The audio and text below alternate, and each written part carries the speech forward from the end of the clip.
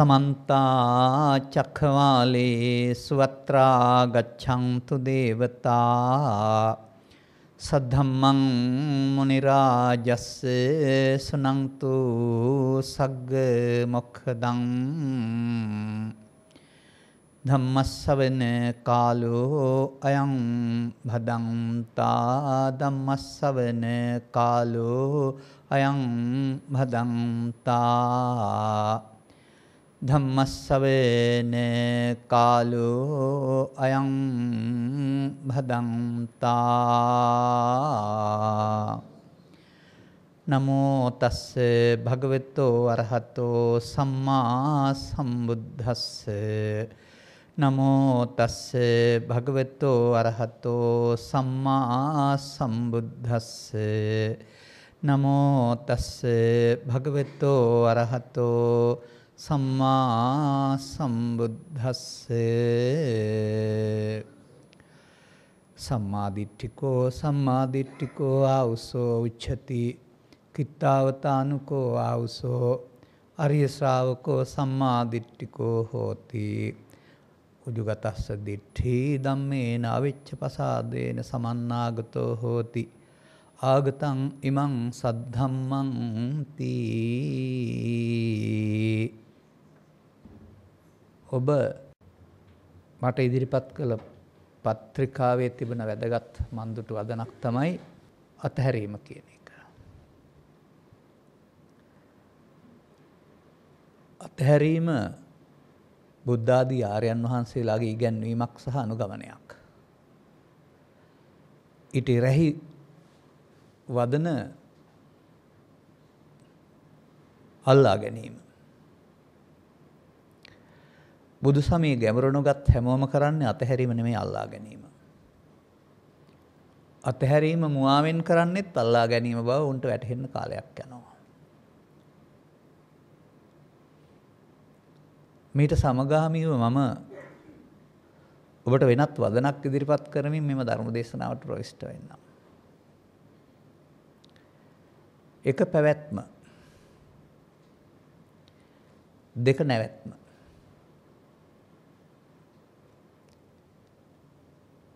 මා ධර්ම දේශනා කරනු ලබන්නේ නැවැත්ම සඳහා.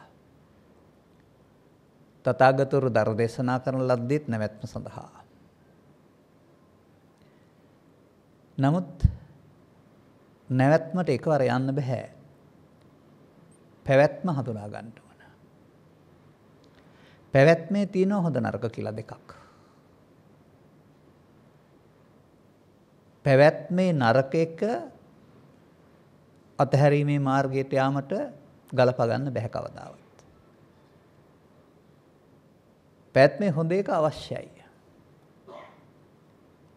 පැවැත්මේ හොඳ එක අනුගමනය කළ පමණින් නැවැත්මට යන්නත් බැහැ.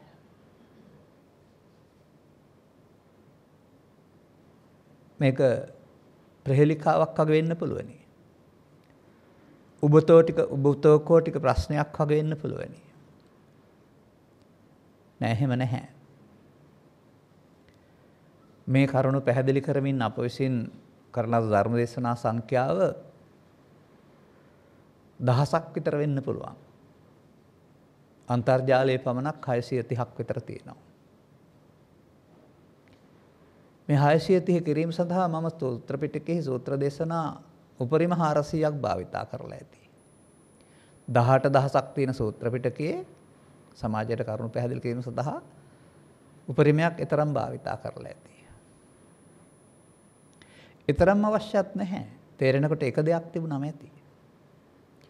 නමුත් දේශකින් වහන්සේ කෙනෙකුට විචිත්‍රත්වය අවශ්‍ය නිසා විවිධ සූත්‍ර දේශනා පාඨ ඔස්සේ දේශනා කරනු ලබනවා. අද මම ඔබ හමුවට එන්නේ වසර 40ක ආසන්න කාලයක් 40කට ආසන්න කාලයක් බුදුරජාණන් වහන්සේ අපට මොනවද දේශනා කළේ කියන එක පිළිබඳව තනියෙන් පරීක්ෂණයක් කරපු කෙනෙක් වශයෙන්. ඒකට මට අවුරුදු 25ක විතර කාලයක් ගත වුණා. ලෝකේ ඉන්න අනිකුත් චින්තකයින් හැමදෙනාගේම පොත්පත් කියවමින් බුදුන් වහන්සේ අපට මොනවද දේශනා කළේ? වත්මන් සමාජයේ ක්‍රියාවට නගන්න බැරි ඇයි? කියන මේ කරුණ පිළිබඳව බොහෝ කල් හෙව්වා. වසර 2000 2005 අතර කාලයේදී තමයි මට තේරුණේ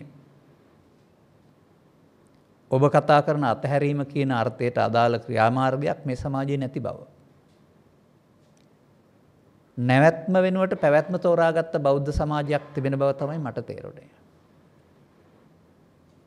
නැවැත්මේ ඉඳගෙන ඔවුන් පැවැත්ම ප්‍රාර්ථනා කරනවා. වචනේ වැරදුනා අනිත් පැත්තට ගන්න පැවැත්මේ ඉඳගෙන නැවැත්ම ප්‍රාර්ථනා කරනවා.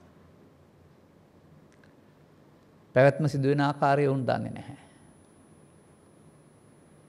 මේ බුදුවරුන්ගේ ලෝ පහළ වීම කියන එක මේ අපට පෙනෙන දෙයක් පැහැදිලි කරන්න දේශනා කරන දෙයක් නෙවෙයි. ඒක ප්‍රඥාවට ගෝචර වෙන්න ඕන ගැඹුරු කරුණක්. ඒක සමස්ත සමාජයටම තේරුම් ගන්න පුළුවන් දෙයක්ුත් නෙවෙයි. ඒ නිසා තමයි අර තේරුම් ගන්න බැරි අයට පැවැත්මේ හොඳ එක අවශ්‍යයි. වත්මන් සමාජයේ වුණාට පැවැත්මේ නරක එකයි හොඳ එකයි දෙකම තිබෙනවා. නැවැත්ම තියෙනවද නැද්ද කියන එක තීරණය කිරීම ඔබ සතුයි ධර්ම දේශනාවෙන් පසු. මේ හයසිය ගණනක් වන ධර්ම දේශනාවල සියල්ල මට මේ දවසේ කියන්න පුළුවන්කමක් ලැබෙන්නේ නැහැ. ඒකට මට ආරම්භයක් කරුණාම ඊට එහාට නියත පෙළකුත් නැහැ. කවදාත් එහෙම නැහැ. ඔබ සවන් දෙමින් හිතන්නේ යම් දේවල්ද ඒ ආශ්‍රයෙන් මම මේක අදාළ කාලය තුළ නිමාවට පත් කරනවා. බණහන්න හිතෙන බණක් වශයෙන්. ඒ වචනේ අලිත් මතක තියාගන්න. කරුණු පැහැදිලි කරලා ඉවර කරන බණක් වශයෙන් නෙවෙයි ඉවසන් අවසන් කරන්නේ. තවදුරටත් සොයා බලන්න අවශ්‍යයි කියලා බණහන්න හිතෙන බණක් වශයෙන් තමයි අවසන් කරන්නේ. එහිදී මා ඔබට ගත්ත දහම් පාටට කෙලින්ම යනවා. මධ්‍යම නිකාය සම්මාදිට්ඨි සූත්‍රයේහි සරියුත් හාමුදුරුවන්ගෙන් මෙම ප්‍රශ්නේ විමසනු ලබන්නේ මහා කොටිත්ත හාමුදුරුවෝ. සම්මාදිට්ඨි සූත්‍රය විග්‍රහ කරන්න නෙවෙයි මම මේ පාඩේ ගත්තේ. සම්මා දිට්ඨිය විග්‍රහ කරන්න. කුමක්ද මේ ප්‍රශ්නේ තිබෙන විමසීම? ඇවැත්නි සම්මාදිට්ඨි සම්මාදිට්ඨි කියලා කියනවා. ආර්ය ශ්‍රාවකයා කොපමණකින් සම්මාදිට්ඨියට පැමිණියේ වේද? කිත්තාවතානකෝ බන්තේ කියන එකෙන් තේරුම ඒකයි. ඔහුගේ දෘෂ්ටිය ඍජු වූයේ වෙයිද? ඔහු ධර්මයේහි නොපිරිහෙන ශ්‍රද්ධාවෙන් යුක්ත වී වෙයිද? ඔහු සද්ධර්මයට පැමිණියේ වෙයිද? කොපමණකින්? බලන්න කාරණා කීයක් තිබෙනවද කියලා. දෘෂ්ටිය ඍජු වෙන්න ඕන. නොපිරිහෙන ශ්‍රද්ධාවකට පැමිණෙන්න ඕන. ආගතං ඉමං සද්ධම්මන්ති කියන්නේ මෙම සද්ධර්මයට පැමිණෙන්නේ වෙයිද? අතහැරීම කියන වචනට සක්‍රීයභාවයක් දෙන්න ඕන නම් සද්ධර්මයට පැමිණෙන්නට ඕනේ. අතහැරීම කියන වචනේ සමාජයට විවිධ අර්ථ තියෙන්න පුළුවනි. අම්මා තාත්තා වත පිට ගෙවල් දොරවල් රැකියාව නෑ එහෙම අතහැරීමක් නෙවෙයි මේ පෙන්වන්නේ. මට තේරෙන විදිහට නම් දුකට හේතු අතහැරපුවම දුක නෑ. දුකට හේතු අතාරින්නේ කොහොමද? එක අර්ථයක්. තව අර්ථ ගන්න පුළුවනි අපට. දැන් මේ සම්මාදිට්ඨි පදය කවද්ද ඔබට මුණ ගැහෙන්නේ? පාසල් අධ්‍යාපනයේදී. ආර්ය අෂ්ටාංගික මාර්ගය ඉගෙන ගන්න කාලෙදී සම්මාදිට්ඨි වරහන් ඇතුළේ යහපත් දැකීම කියන පදයක් ඔබ ඉගෙනගෙන ඉන්න පුළුවන්. සම්මාදිට්ඨියට පෙර ආතුව තියෙනවා තව පදයක් මිත්‍යා දෘෂ්ටි කියලාත්.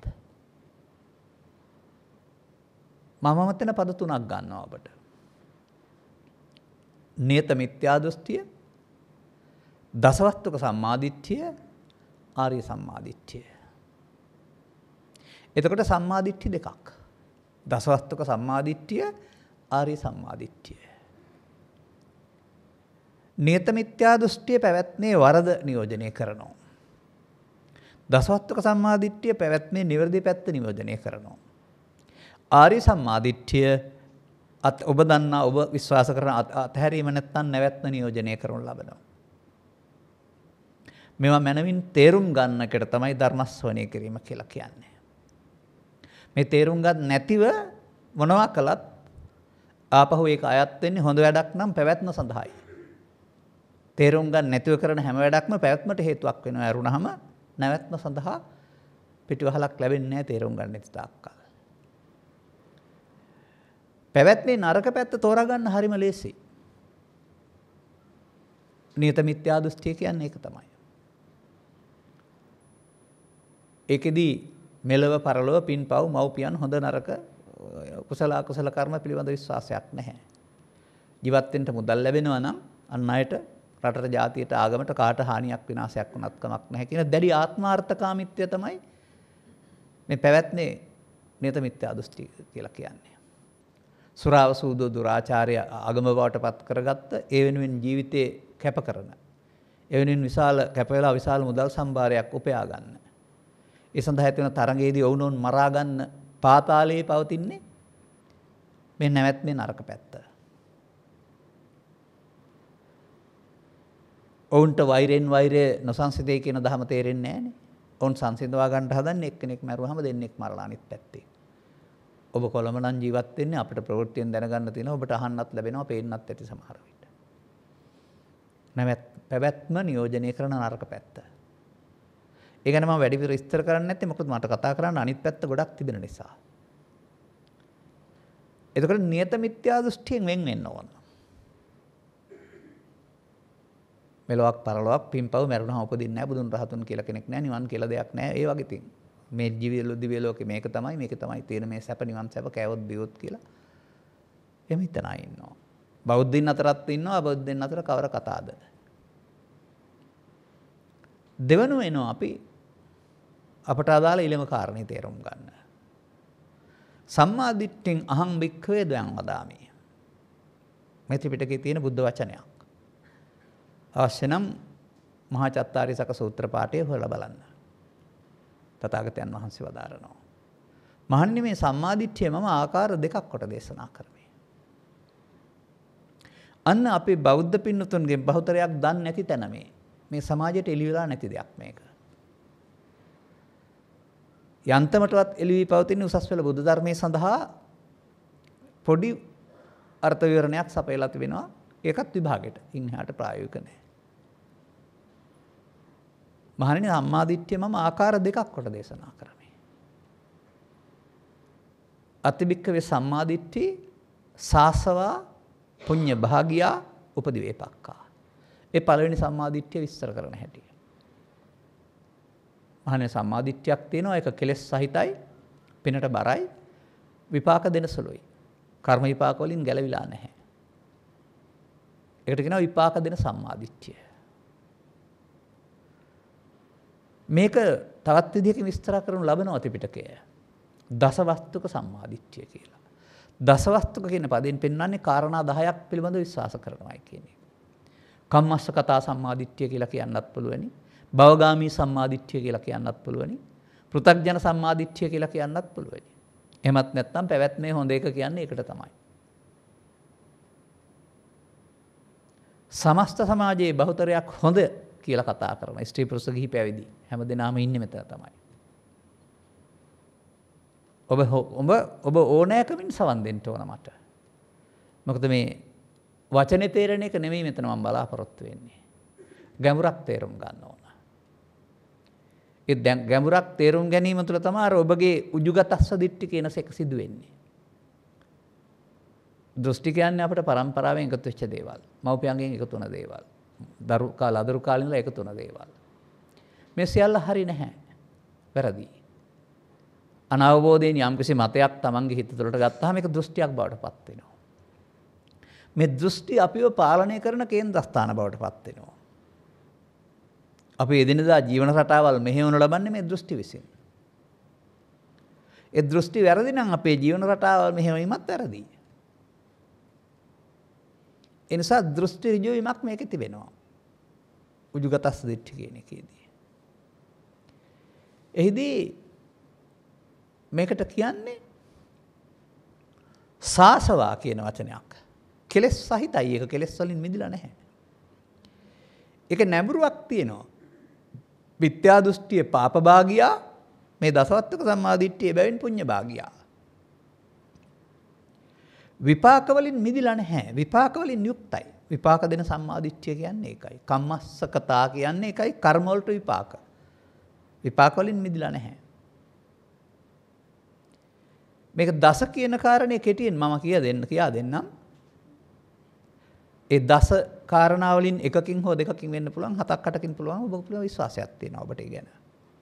දානේහි යාගෙහි පුද පූජාවන්ගේ කුසල කුසල කර්මයන්ගේ විපාක තියෙනවායි කියන එක. මවට පියාට කරන උපස්ථානයන්ගේ විපාක තියෙනවායි කියන එක. මෙලොව පරලොව කියලා දෙපැත්තක් තියෙනවායි කියන එක. ඕපපාතික උපදින දේව භූතයක් සනි සත්ව විශේෂයක් ඉන්නවායි කියන එක. බුදුන් රහතුන් වැනි සත්‍ය පසක් කොටගෙන දේශනා කරන අය ලෝකේ ඉන්නවායි කියන මේ කරුණු 10 විශ්වාස කිරීම තමයි දසවස්තුක කියලා කියන්නේ. එක පැත්තකට. තවත් පැත්තකට ගන්න පුළුවන් මට මේක. අංගුත්තර නිකායේ තියෙන සූත්‍ර හතක් විතර කර්ම කියන පදේ යොදලා. මේ සූත්‍ර හතේ එකමුතුව ගත්තම තියෙන්නේ කර්ම જાති හතරක් පිළිබඳ බුදුන් වහන්සේගේ ඉගැන්වීම. අපිට මේ පැවැත්මයි නැවැත්මයි නැත්නම් පැවැත්ම හොඳ එකයි නැවැත්ම හොඳ එකයි පැවැත්ම හොඳ එකයි පැවැත්ම නරක එකයි නැවැත්මයි කියන එකට ගලප ගන්න පුළුවන් මේක. එහෙම කියලා දීලා තමයි මම මේ නැවැත්ම කරා යන්නේ. ගම්බදව ජීවත් වෙන්නා වූ අහිංසක අම්මා කෙනෙකුගෙන් ඇහුවහම කර්ම කියන්නේ මොනවද කියලා පව් කියලා උත්තරයක් දෙයි. මරණයකදී නැත්තම් දුකකදී යම් කිසි දුකක් ආපුවාම යෝගයකදී පෙර කර්මයක් විපාක දීලා කියලා කර්මය කියන වචනේ කර්මය බවට පත් කරගෙන ඒක පාප කියන පදයට පමණක් සීමා කරනවා.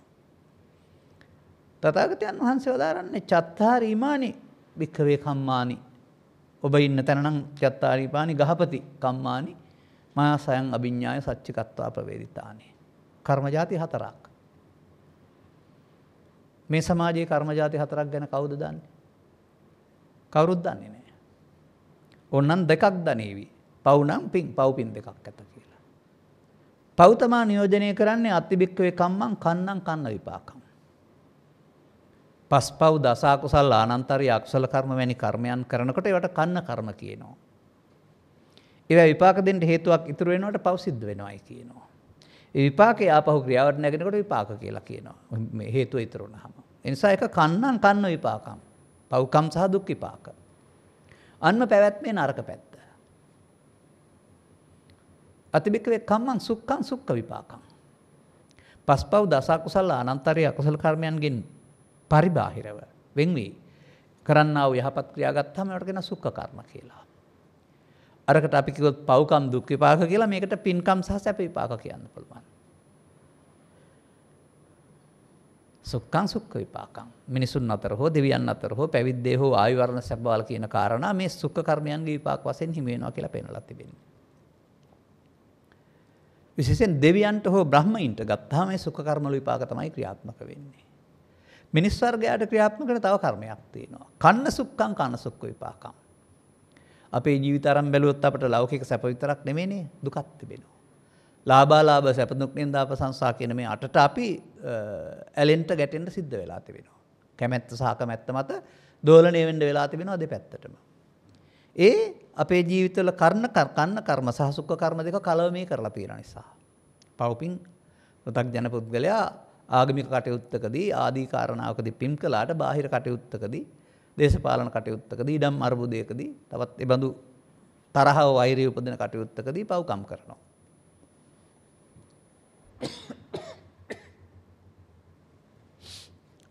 එතකොට කන්න සුඛ කර්ම කරපුවාම ඒ පුද්ගලයාට මිනිසෙක් වශයෙන් ගත් කල පවපින් දෙකට විපාක දෙන්න සිද්ධ වෙනවා. ජානුස්සෝනි වැනි සූත්‍රයක් ආශ්‍රයෙන් බැලුවොත් එහෙම ගවයා සුනකයා අතාස්සය වැනි සත්තු මේ අපේ සමාජයේ ඉන්නවා අපි හදන අය. උන්ට අපි වෙන සත්තුන්ට වඩා හොඳින් සලකනවා. ඒ සත්කාර සම්මාන ඔහු පෙර ජීවිතයේදී කළා වූ පින්වලට විපාක වශයෙන් උත් සත්‍ය වශයෙන් ඉපදීම කළා වූ පව්වලට විපාක වශයෙන් උත් පෙන්නනවා. අන්න පව්පින් දෙක එකට විපාක දෙන සත්තු. දැන් කන්න කර්ම පැවැත්මේ නරක එක, සුඛ කර්ම පැවැත්මේ හොඳ එක. තුනයි. කන්න කර්ම, කන්න සුඛ කර්ම, කන්න සුඛ කර්ම. කර්ම જાති තුනයි. මේ තුනම අතහැරීම නෙමෙයි පැවැත්ම. කන්න කර්මත් පැවැත්ම, කන්න සුඛ කර්මත් පැවැත්ම, සුඛ කර්මත් පැවැත්ම. පැවැත්ම නමුත් මෙතන පැවැත්මේ ප්‍රභේදයක් තිබෙනවා. පැවැත්ම නිර්මාණය වෙලා තියෙන්නේ කොහොමද? බුදුන් වහන්සේ වදාළ පරිදි. අපාය හතරක් තිබෙනවා. දිව්‍ය ලෝක හයක් තිබෙනවා. මිනිස් ලෝකක් තිබෙනවා. රුපිය රුපිය බඹතල 16ක් තිබෙනවා. 20ක් ඔක්කොම තියෙනවා. 31ක් ඔක්කොම. මේ 31 පැවැත්මයි මම මේ කතා කරන්නේ. මිනිසෙක් වශයෙන් ජීවත් වෙලා කන්න කම්ම කොට ඒවා ප්‍රතිසන්දියට අරගෙන පරලොව ගියොත් අපාගත වීම පැවැත්මේ නරක පැත්ත. හතර අපා පැත්තට. මිනිසෙක් කළා කරන කර්මයන්ගේ පින්පව් කලවම් කර්මයෙන් පරලොස්සේ පත්වන්නට යෙදුනොත් මිනිසුන් අතර හෝ දිව්‍යයන් අතර මිනිසුන් අතර තමා නැවැත්නේ මේ පැව්පින් දෙකම තියෙන්නේ. දෙවියන් හෝ බ්‍රහ්මයින් අතර තමයි කන්නක් සුඛ කර්ම වල හොඳ විපාක තිබෙන්නේ. අපාගත වීමත් කර්ම විපාක, මිනිසා අතර ඉපදීමත් කර්ම විපාක, දිව්‍ය ලෝකේ යාමත් කර්ම විපාක, රූපී අරූපී බඹතල ඉපදීමත් කර්ම විපාක.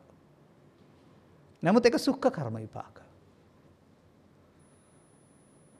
එබැවින් මේ තුනටම කියනවා කර්ම මාර්ගය කියලා. වත්මන් සමාජයේ ඉන්නේ කොතනද කියන අපි මේක තේරුම් ගන්න වෙනවා. තවත් එකක් තිබෙනවා චත්තාරීමානි භික්ඛවේ කම්මානිනේ. මේක පැහැදිලි කරන්න මම ඔබ දන්න උදාහරණයකුත් ගන්නවා සමහර වෙලාවට. පාසල් අධ්‍යාපනයේදී ජවනහා පිටියට බැස්සනම් මරල ක්‍රීඩකයෝ වශයෙන් ධාවන තීරු මතක ඇති. දැනුත් ඔබ සමහර ක්‍රීඩාවලදී නරඹනවා ඇති. අපි උපමාවකට ගනිමු මං තීරු හතරක් හතරක ධාවන පතයක්. එක මං තීරුවක් තමයි කන්නම් කන්න විපාකම්. කන සුක්. පව්කම් සහ දුක් විපාක. මේ මං තීරුව ඔය හැසිරුණොත් ජීවිත අවසානයේට මං තීරුව විවෘත වෙනවා අපායට.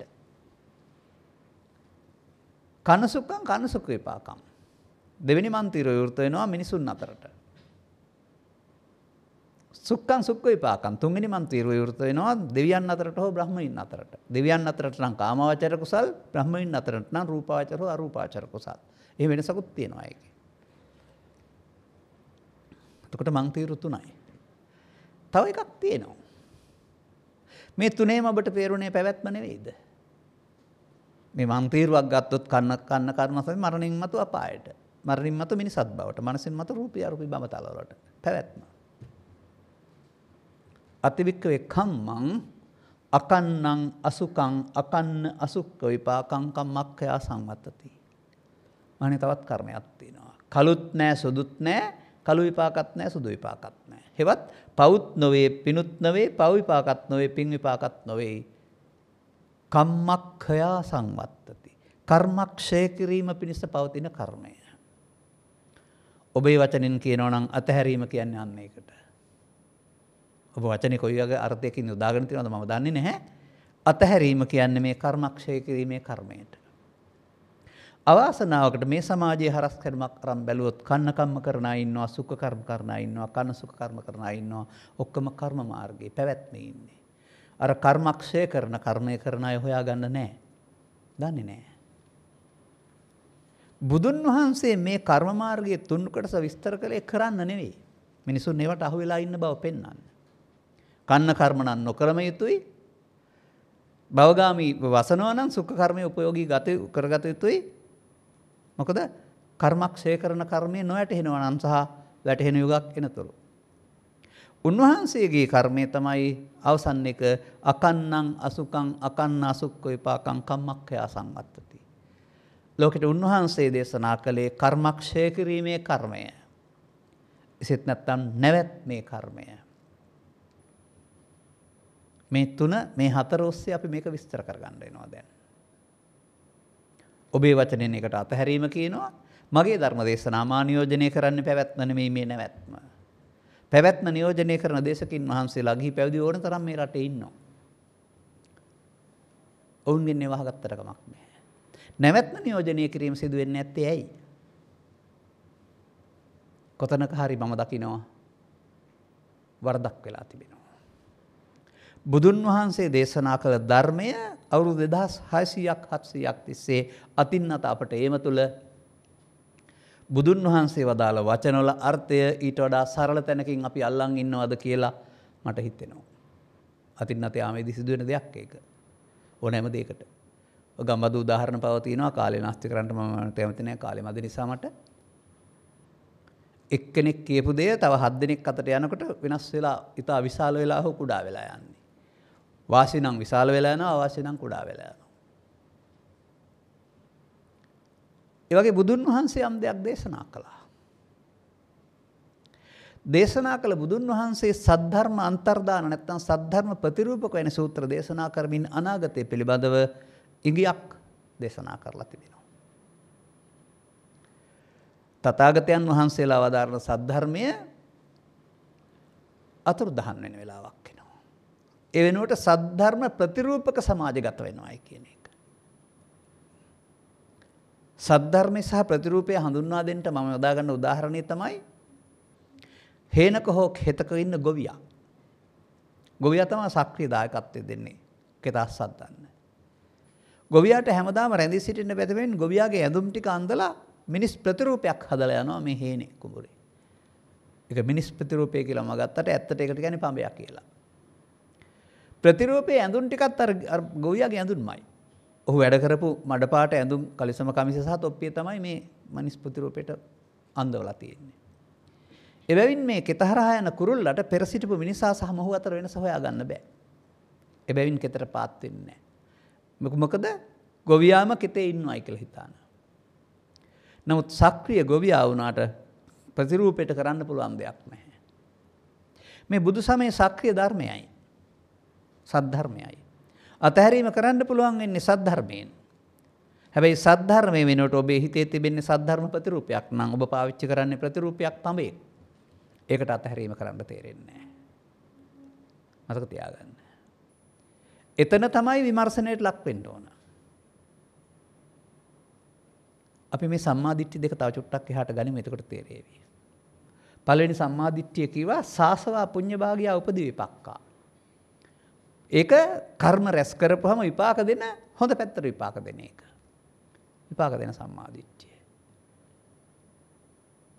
තව එකක් තියෙනවා. අත්තිවික්කවේ සම්මාදිට්ඨිය අරියා අනාසවා ලෝකුත්තර මග්ගංගා. මහණෙනි තව සම්මාදිට්ඨියක් තිබෙනවා.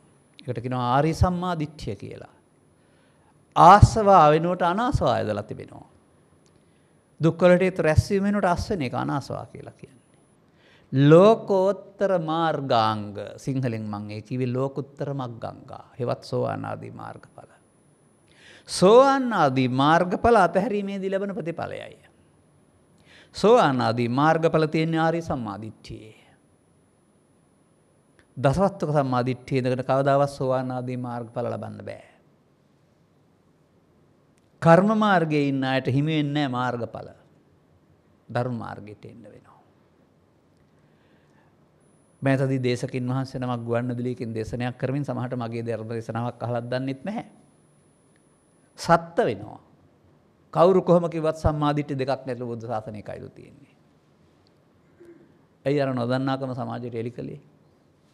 මහා චත්තාරි සක සූත්‍රයේ දානේ විපාක ඇත සීලේ විපාක ඇත කුසල අකුසල කර්මයන්ගේ විපාක ඇත කියලා දසවස්තුක සම්මාදිට්ඨිය විග්‍රහ කරන බුදුරජාණන් වහන්සේ දුක්ඛේ ඥානං දුක්ඛ සමුදය ඥානං දුක්ඛ නිරෝධේ ඥානං දුක්ඛ නිරෝධ ගාමිනී පටිපදා ඥානං අයං උච්චති ති වික්ඛවේ සම්මාදිට්ඨි කියලා ආරි සම්මාදිට්ඨිය විග්‍රහ කරනවා. දෙකක් නැද්ද? දෙකක් තියෙනවා. දෙකක් තියෙන බව දන්නේ නැහැ. මේ සමාජයේ බහුතරයක් ආරි සම්මාදිට්ඨිය ගැන දන්නේ නැහැ. දසවස්තුක සම්මාදිට්ඨිය තුල ඉන්නේ. දසවස්තුක සම්මා දිට්ඨියට මාර්ගඵල කවදාවත් ගේන්න බෑ. මේ ජීවිතේ නෙමෙයි තව ජීවිත ලක්ෂයක් ඉපදුනත් ඒක කර්ම මාර්ගය අරුණාම ධර්ම මාර්ගය නෙවෙයි. එහෙනම් මාර්ගඵල පිළිවෙලින් මේ අතහැරීමේ ප්‍රතිඵල ලබන්න ඕන නම් ආර්ය සම්මා දිට්ඨියට එන්න ඕන. අරියා අනාසවා ලෝකෝත්තර මග්ගංගා. දැන් දසවස්තුක සම්මා දිට්ඨිය දේශනා කළේ කුමක් පදනම් කොටගෙනද? ආරි සම්මාදිට්ඨිය දේශනා කළේ කුමක් පදනම් කොටගෙනද අපි හොයන්න ඕන. අන්න ඒක තමයි මෙතන පෙන්වන්නේ අරිය ශාවකෝ සම්මාදිට්ඨිකෝ හෝති. උජුගතස්ස දිට්ඨි. ධම්මේන අවෙච්ච සහදින සමන්නාගතෝ හෝති. ආගතං නිමං සද්ධම්මන්ති මේ ටික අයිති වෙන්නේ ආර්ය සම්මාදිට්ඨිකින්ට අරුණාම දසවස්තක සම්මාදිට්ඨිකින්ට නෙමෙයි.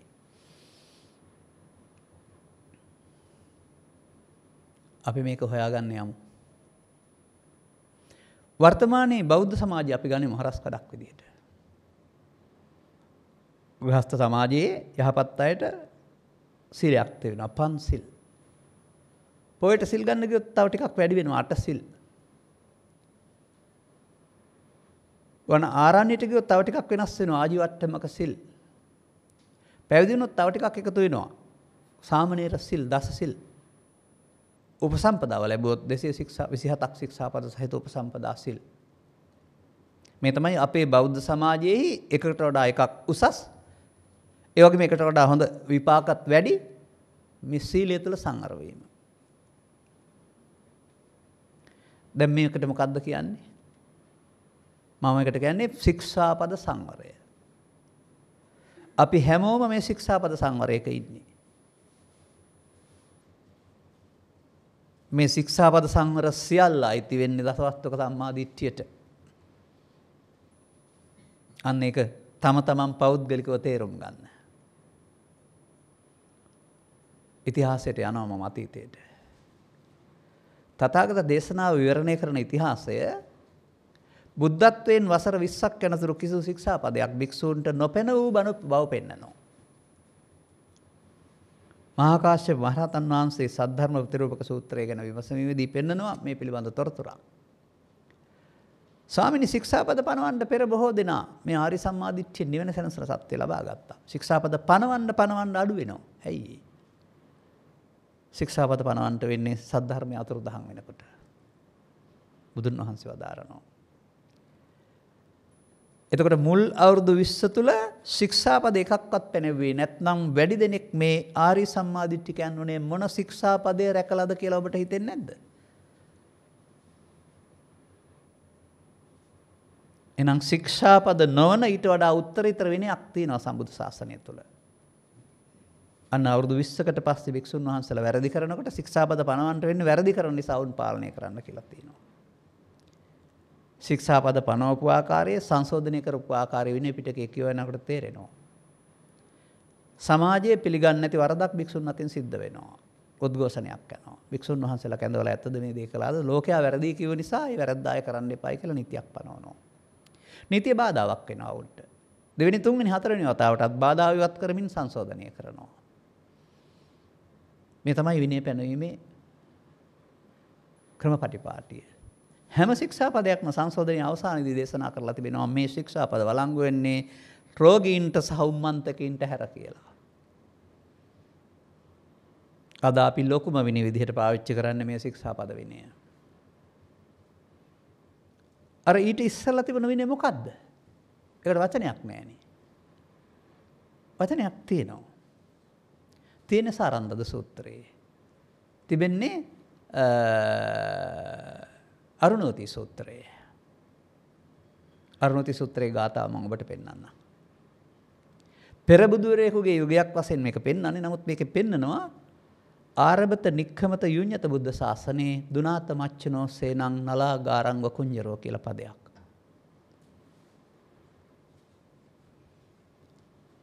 තථාගතයන් වහන්සේගේ අනුශාසනාව පිළිපැදීම අරඹන්න ඒ සඳහා එළමෙන්න ඒක පවත්වාගෙන යන්න. ඒ ක්‍රමෝපාය ස්වභාවය මච්චුනාසේ නං දුනාත නලාගාරංග කුංජරෝ. බටදන් වලින් හදපු ගේකට කියනවා නලාගාර කියලා කුංජර කියනවා ඇතාට. ඇතාට බටදන් වලින් හදපු ගයක් කුඩු කරන්න එච්චර අපහසු නැහැ. සුණු විසුණු කරනවා බොහොම පහසුවෙන්. අන්න ඒ වගේ කෙලෙස් සතුරන් වනසන්න දුනාත මච්චුනෝසේ නම් මරසෙන් විනාශ කරන්න. ඒ බුදුන් වහන්සේගේ අවවාදය. අන්න අතහැරීම කියන එකේ අර්ථය මෙතනයි තියෙන්නේ. ඒ සඳහා උන්වහන්සේ වදාරනවා යෝයිමස්මින් ධම්ම විනය අපමත්තෝ විහෙස්සති. යමෙක් මෙම ධර්ම විනයෙහි අප්‍රමාද වන්නේ නම් පහය ජාති සංසාරන් දුක්ඛ සන්තං කරිස්සති සසර දුක්කට හේතු අතහැර දුක් කෙලවර කරනු ලබන්නේ ධර්ම විනයෙහි අප්‍රමාද වීමෙන් බව මේ ගාථාවේ තිබෙනකොට එහෙනම් බුදුන් වහන්සේ මුල් කාලේ දේශනා කරපු එක තමයි ධර්ම විනය. අන්න අපේ රටේ අද නැත්තේ ධර්ම විනය. අපට තියෙන ශික්ෂාපද විනය. ශික්ෂාපද විනය තුළ පැවැත්නේ හොඳ එක නියෝජනය කරන ඇරහම නැවැත්මක් නෑ මේ ශික්ෂාපද සකස් වෙලා තියෙන්නේ පින් කරමින් මැරිලා ඉපදිලා සුගතිගාමි වෙලා නාකද බුදු හාමුදුරන්ගේ ශාසනය නිවන් ලබන්ට. පැවැත්ම නෙවෙයිද. එහෙනම් ධර්ම විනය. ධර්ම විනය කියනක මේ සමාජයේ ධර්මය වෙනයි විනය වෙනයි කියලා දෙකකට බෙදෙනවා. ධර්මය මූලික කොට ගත්ත විනයක් තිබෙනවා. අන්න ධර්මය කියන පදයක් ආවා. අන්න අපට නැත්තේ ඒක. ඔබට අතහැරීම අවශ්‍ය නම් අනිවාර්යයෙන්ම ඔබ ධර්ම විනය දැනගන්න වෙනවා. මේක තවත් ටිකක් පැහැදිලි තැනකට මම ගේන්නම්. අංගුත්තර නිකායේ තිබෙනවා සාරන්දද කියලා සූත්‍රයක්. මේ සූත්‍ර වෙනම පැය දෙක දෙක කතා කරන්න ඕන දේවල්. නමුත් මේ හැම එකක්ම අරගෙන මම ඔබට අහන්න හිතෙන බණක් කියනවා කිව්වේ ඒකයි. මේක තිබෙනවා ලිච්ඡවි රජදරුවන්ගේ රාජ්‍ය සම්පත්වලට උදව් වෙන මැණික් පහක් පිළිබඳව කතාවක්. ඒක මම මෙතන විස්තර කරන්නේ නැහැ. ඒක ගෘහ ජීවිතයට අදාළ දෙයක් නිසා. මේ උපමාවට කරන බුදුන් වහන්සේ සම්බුද්ධ ශාසනයේ මැණික් පහක් පහළ වෙනවා කියලා දේශනා කරනවා. මොනවද මේ මැණික්?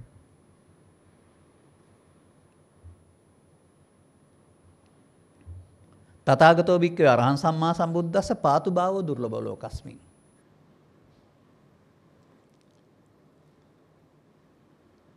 තථාගත සම්මා සම්බුදුරජාණන් වහන්සේගේ පහළවීම දොලෝකෙ දුර්ලභ දෙයක් ඒ තමයි බුදු මැණික. ඒ ගැන අපට සැකයක් නැහැ.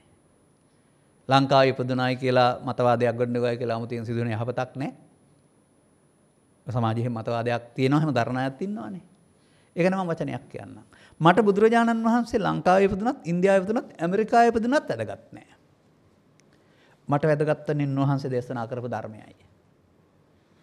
එහෙනම් මතවාදයකින් උපන් තැන මාරු කරා කියලා මේ සමාජයේ සිදුවෙන සිතක් යහපතක් නැහැ. ඒක ආයෙත් අර පැවැත්මේ තවත් කොටසක් විතරයි. ඔය පැවැත්මේ හොඳ පැත්තට එන්නේ යන්නේ එහෙමයි. මහ ලොකු දේවල් විදිහට. දෙවෙනි මණික හොයමු අපි. මේක වැනි පහක් නේ තියෙන්නේ. තථාගතප්පේ දස ධම්ම විනයස්ස දේශිතෝ පුද්ගලෝ දුර්ලභෝ ලෝකස්මි. අන්න රහස එළියට එනවා. තථාගතයන් වහන්සේ මනාව අවබෝධ කළ ධර්ම විනය දේශනා කරන පුද්ගලයා මේ ලෝකේ දුර්ලභයි. දැන් තියෙනවා නේද ධර්ම විනය දේශනා කිරීම කියලා එකක්. ඒකේ. මෙන්න දෙවෙනි මැනික. දෙවෙනි මැනික ඇසුර ලැබුවොත් තථාගතප්පේ දස ධම්ම විනයස්ස දේශිතස්ස විඤ්ඤාතස්ස පුද්ගලෝ ධර්ම විනය දේශනා කරනකොට එයාගෙන් ධර්ම විනය දැනගන්න පුද්ගලයා තවත් දුර්ලභයි. ඒ තුන්වෙනි මැනික. තථාගතප්පේ දස ධම්ම විනයස දේශිතස්ස විඤ්ඤාතස්ස ධම්මාන ධම්ම පටිපන්නස්ස පුද්ගලෝ දුර්ලභ ලෝකස්මින්. තථාගතයන් වහන්සේ දේශනා කරපු දේ අවබෝධ කරන දේශනා කරපු දේ දැනගෙන දේශනා කරනවා අහලා තේරුම් අරගෙන පිළිපදින පුද්ගලයා තවත් දුර්ලභයි. බුදුමැණික පළවෙනි එක ධර්ම විනය දේශනා කරන්න දෙවෙනි මැනික තේරුම් ගන්නා තුන්වෙනි මැනික පිළිපදින්නා හතරවෙනි මැනික. මෙන්න මේ පිළිපදින්නා තමයි ඔබේ ඔය වචන සංකේතවත් කරන අතහරින්න. අපේ සමාජයේ මම දකින්නේ බුදු මැනික ගැන විතරයි දෙවෙනි තුන්වෙනි හතරවෙනි මැනික් නෑ. රත්නපුරේ පැත්තට ගිහිල්ලා මැනික් ටික අරන් හාරපලා වහපුවම පතලක් ඒක මැනික් නැති පතලක්නේ. ධර්ම විනය තේරුම් අරන් පිළිපදින්න නැති තාක්කල් අතහරින්නෝ මේ සමාජයේ නෑ ඒ වගේම මේ ප්‍රතිඵල නැහැ. පළවෙනි දෙවෙනි පළවෙනි මැනික ගැන හරි දෙවෙනි තුන්වෙනි හතරවෙනි මැනික් නැහැ. මේ සමාජය අවදි කරන්නට දෙවෙනි මැනිකක් මැනික් තියෙන්න ඕන එකක් නෙමෙයි හුඟක්. දේශකින් වහන්සේලා තමයි දෙවෙනි මැනික් බවට පත් වෙන්නේ.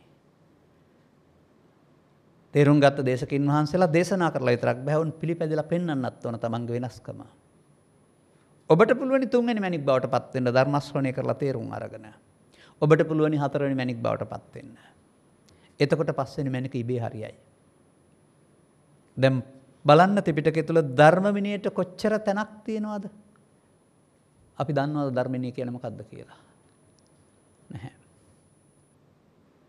අන්න මට ලැබී තිබෙන ඉතුරු කාලේ මම මේක හොඳට විග්‍රහ කරනවා ලැබී තියෙන කාලයට අනුව. 1 දසවත්තක සම්මාධිට්්‍යය දේශනා කළේ පුද්ගලයා මුල් කොටගෙන. ස්ත්‍රිය පුරුෂයා ගිහියා පැවිද්ද පුද්ගලයෝ මවකුසින් බිහි ජීවිතාසානත්තා ජීවත්වන පුද්ගලයෝ. ඔවුන්ට පන්සිල්ලට සිල් දස්සිල් සාමිසිල් උපසම්පදාසිල් ලොලි ශික්ෂාපදයක් තෝරාගෙන වැරදිනිසා කරන්නෑ කියලා ශික්ෂාපදය සංගරවෙන්න පුළුවන්. ඒ ශික්ෂාපද සංගරය පවතින වැරදි නිසා කරන්න ඇතිකම එකට කෙන විරති කියලා. ඒ අයිති වෙන්නේ මොකේටද. පාපයෙන් වෙන්වීමට. විරති කියන එකේ තේරුම ඒකනේ. පාපය පැවැත්මේ වැරදි පැත්තයි. පාපයෙන් වෙන්වීම පින කියන අර්ථයට ගන්න. එතකොට ඒක පැවැත්මේ හොඳ පැත්ත. තවත් සූත්‍ර ගණනාවක් ගත්තොත් මේක පෙන්වන්නත් පුළුවනි මට කාලය තියෙද කියන්න බෑ එච්චර. මොකද මට ඉතිරි කොටස හුඟක් විග්‍රහ කරන්න ඕන. අන්න අපේ සමාජය මේ කියන දාන සීල භාවනා ත්‍රිද පුණ්‍ය ක්‍රියාවන් කරලා මරණින් මතු මිනිසුන් අතර හෝ දෙවියන් අතර ඉපදිලා අනාගත බුදුහාඳුරන්ගේ ශාසනයේ නිවන් අවබෝධ කරන්නට හේවත් අතහැරීමට මේ පැවැත්මක් හදාන ඉන්නවා.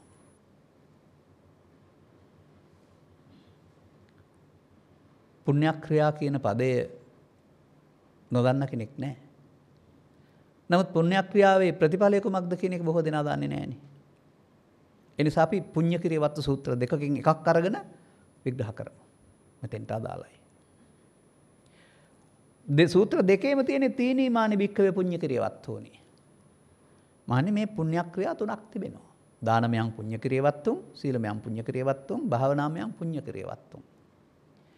පුණ්‍ය කිරියවත්තුම් කියන එකේ තේරුමම ඒවා පුණ්‍යක්‍රියා අනාගතේ විපාක හම්බ වෙනවායි කියන එක. එතකොට දානයටත් විපාක, සීලයටත් විපාක, මේ පෙන්වන පුණ්‍ය කිරියවත්තු භාවනාවටත් විපාක. එහෙනම් පැවැත්ම නෙමෙයිද මේ මේ නියෝජනය කරන්නේ. එහෙම කිව්වට තේරෙන්නේ නැහැ.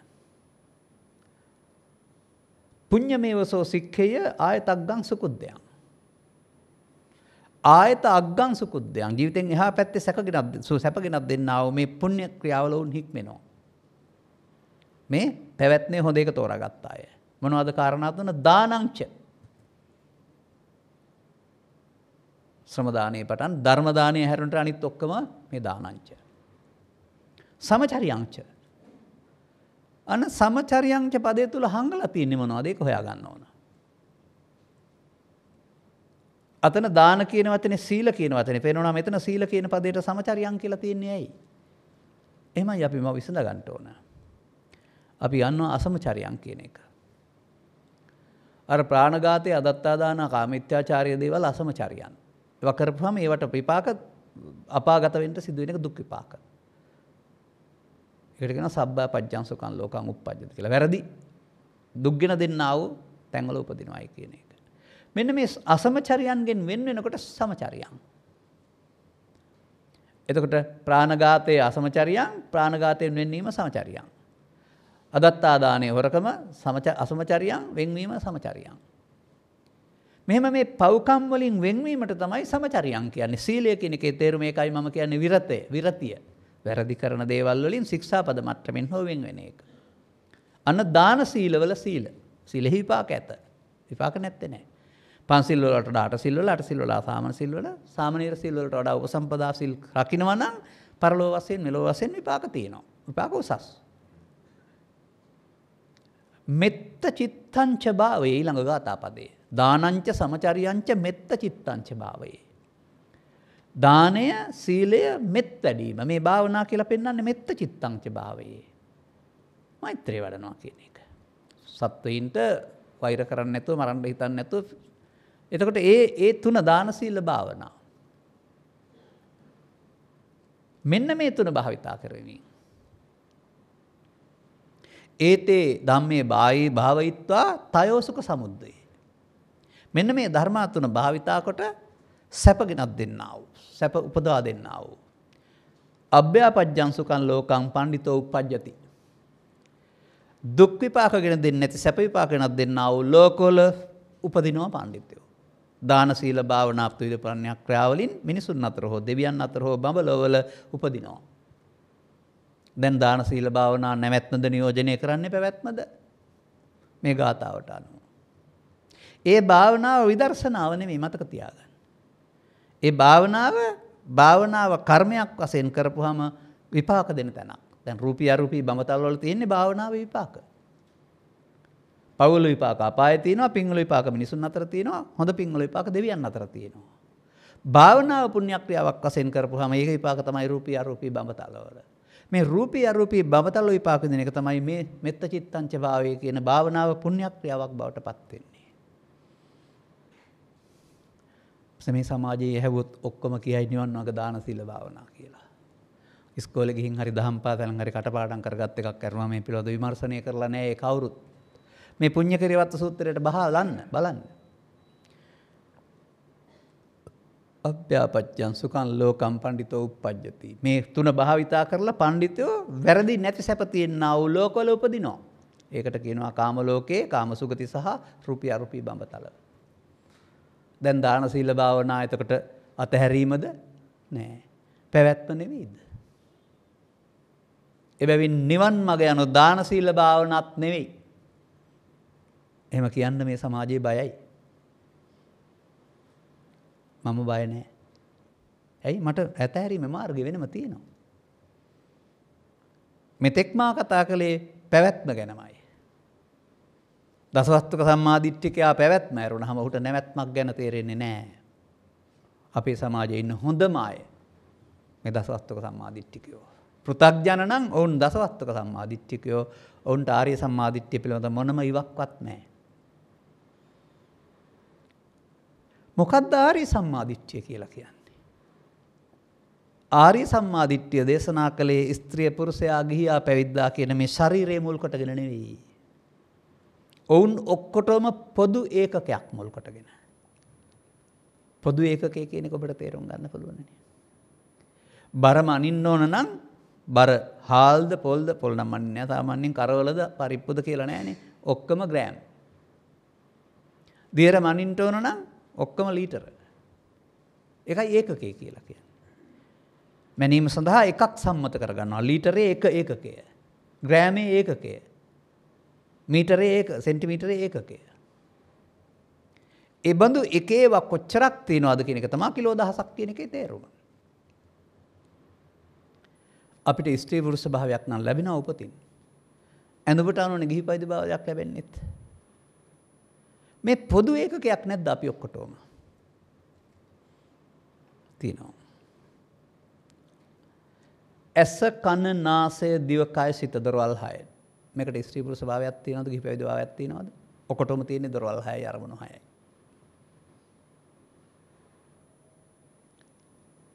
අන්න එහෙම එකඟ වෙන්න පුළුවන් තැනකට අපි යනවා. මේ එකමට පුදුවන් තැනට යාමේදී මම ඔබට තව අදන් තුනක් ඉදිරිපත් කරනවා. ඔබ දන්නා වූ සම්මුති මරණය. මවකුසින් බිහිවී තරුණියෙක් තරුණයක් මහල්ලෙක් මැහැල්ලක් වසෙන්ල පොළොවට පස් වෙන එකට තමයි සම්මුති මරණය කියන්නේ. ඊට එහා පැත්තේ තව මරණයක් බුදු සමයේ පෙන්වනවා සන්තති මරණ කියලා. අරමුණක් යම්කිසි කාලයක් පවතිනවා. ඇසෙන්, කනෙන්, නාසයෙන්, දිවෙන්, කයෙන් වශයෙන්, ලෝභ දේශ මාසයෙන් විනාඩියක් හෝ විනාඩි කිහිපයක් හෝ චිත්ත වීතියක් වශයෙන් හෝ පැවතිලා මේ යනවා. ඒ පවතින කාලයට තමයි සන්තති කියලා කියන්නේ. ඊටත් එහාගේ සියුම් මරණයක් තිබෙනවා කනික මරණ. තෝක තෝකං කනේ කනේ ටික ටික ශනයක් ශනයක් පාසා. කන්දේසු ජායමානයසු ජියමානයසු මීයමානයසු ස්කන්ධ කියන සමූහය හටගන්න කල්හි දෙරණ කල්ලි සහ මේ යන කල්හි. කනේ කනේ ත්වං ජායසේච ජීයසේච මීයසේච. ෂණයක් ෂණයක් පාසා ඔබද උපදින්නෙහිය දිරන්නෙහිය මැරෙන්නෙහිය. අන්න කනයකින් ඉපදීමක් මැරීමක් තියෙනවා. අපි හැමෝම ගාව. කනේ කනේ ත්වං. මේ ක්ෂණයකින් නිපදීම මැරීමට අවුරුදු 10ක් 15ක් 100ක් කල්ප ගානක් යන්නේ නැහැ. අසුරු ගසන තැනකටත් වඩා වේගයෙන් හටගත්ත ගමන් බිඳීමක්. මේක අපි ඔක්කොටම පොදුයි. අපි කියමුකෝ මේක ගලපා ගන්න මේ වගේ ක්‍රමයක් ගනිමුකෝ. අපි ගන්නවා මීටර කෝදුවක්. දැන් ඒක තියෙනවා සෙන්ටිමීටර් 100ක්. මිලිමීටර් දහසක් තියෙනවා. මිලිමීටර් 1 තමයි ෂණික මරණය. සෙන්ටිමීටර එක තමයි සන්තති මරණය. මීටරය තමයි මීටර එක තමයි ජීවිතාවසානය මරණය. එකයි. මීටර් එකයි මීටර් එක හැදිලා තියෙන්නේ සෙන්ටිමීටර් මීටර් සීයකින්. සෙන්ටිමීටර් සීයකින්. සෙන්ටිමීටර් හැදිලා තියෙන තවත් මිලිමීටර් එක ගානේ. මිලිමීටර් එක තමයි මේක ඒකකය.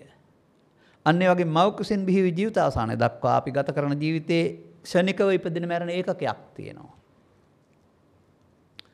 මෙන්න මේ ඒකකය මුල් කොට තමයි බුදුරජාණන් වහන්සේ ත්‍රිලක්ෂණය හරි චතුරාර්ය සත්‍ය හරි ආර්ය අෂ්ටාංගික මාර්ගය හරි පටිච්ච සමුප්පාදය හරි දේශනා කරලා තියෙන්නේ. මේ ඒකකයේ තේරුම් ගන්න බැරි තාක්කල් ධම්මේ නවිච්ච ප්‍රසාදානේ සමස් ප්‍රසාදේන සමන්නාගතෝ හොති නෑ. ආගතං ඉමං සද්ධම්මන්ති නෑ. අතහැරීම නෑ. මතක තබා ගන්න. අන්න මේ ඒකකය විග්‍රහ කිරීමේදී මේ පොත අද දක්වා මම කියවූ පොතපත අද දක්වා මම අහන දේශනා කොතනින් හරි වරද්දගෙන වැරදි අවබෝධයක් සමාජයට දීලා තියෙනවා.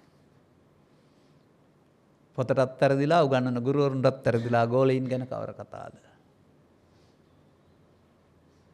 අපි ඒක නිවැරදි කරගන්න ඕන.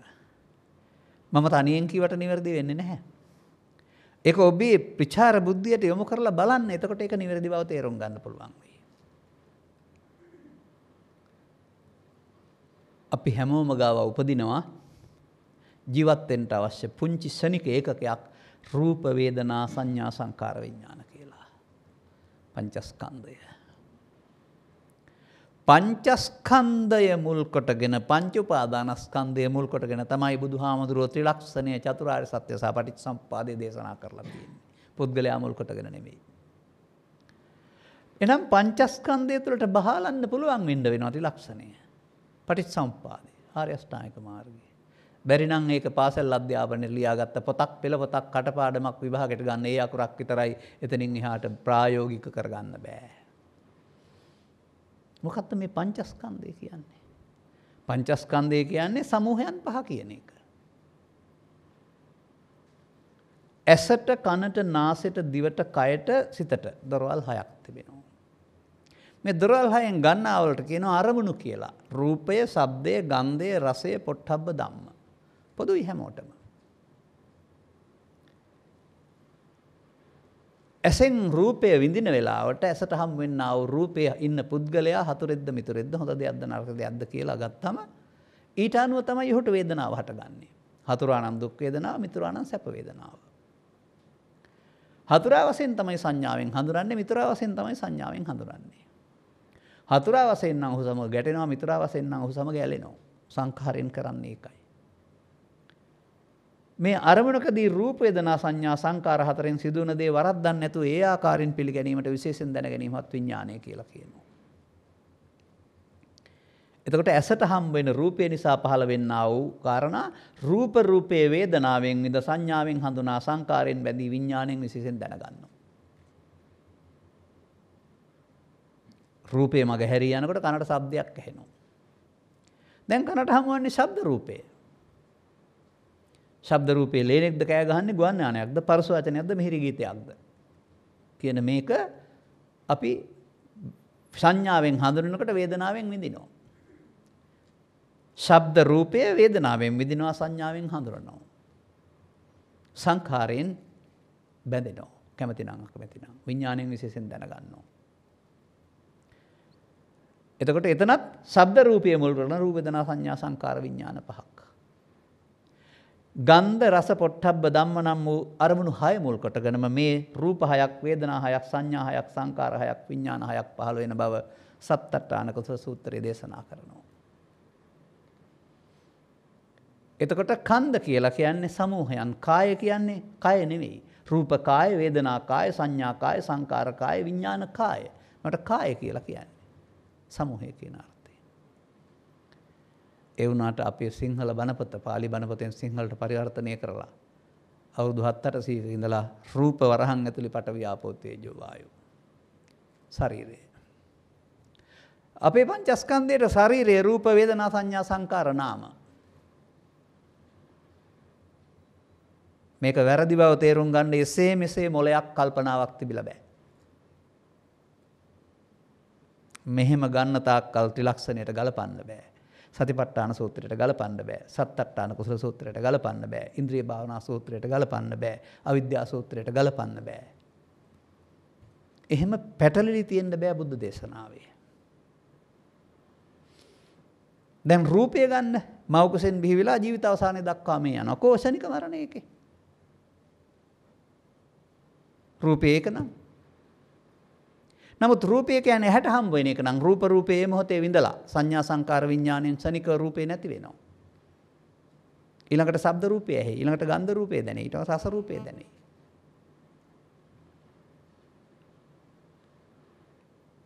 එබැවින් පංචස්කන්ධේ රූපය යනුවෙන් ශරීරය උගන්වපු දා ඉඳලා මේ බුද්ධ සමාජයේ මේ බෞද්ධ සමාජයේ අතහරින්න ඕනේ. ඉන්නේ කවුද? පැවැත්ම හොඳ එක තෝරගත්තා අය. මතක තියාගන්න බුදුහාමුදුරුවෝ ධර්මයක් දේශනා කළා. ඒකයි වැදගත්ම දේ. ඒ ධර්මයේ සරණින් තමයි අපට අතහැරීම කරන්න පුළුවන් වෙන්නේ. නිකන් බෑ. ඒ ධර්මයේ දැනගන්න ඕන.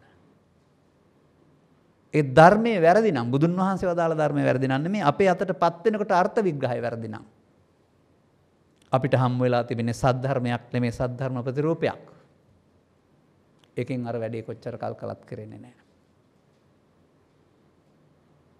අපි තව ටිකක් මේක තේරුම් ගන්න බලමු. නැත්නම් ඔක ඔබට මම ඔහොම කිව්වට තේරෙන්නේ නැහැ. එතකොට ඇසට කනට නාසයට දිවට කයට හම්බෙන්නා වූ අරමුණක් මුල් කොටගෙන රූප වේදනා සංඥා සංකාර විඥාන පහක් හටගෙන නැති වෙනවා. ඒකට කියනවා පංචස්කන්ධයගේ ඉදීම මැරීම කියලා. දැන් සතිපට්ඨාන සූත්‍රයට යනවා. සතිපට්ඨාන සූත්‍රයේ පෙන්වනවා තණ්හා හයක්.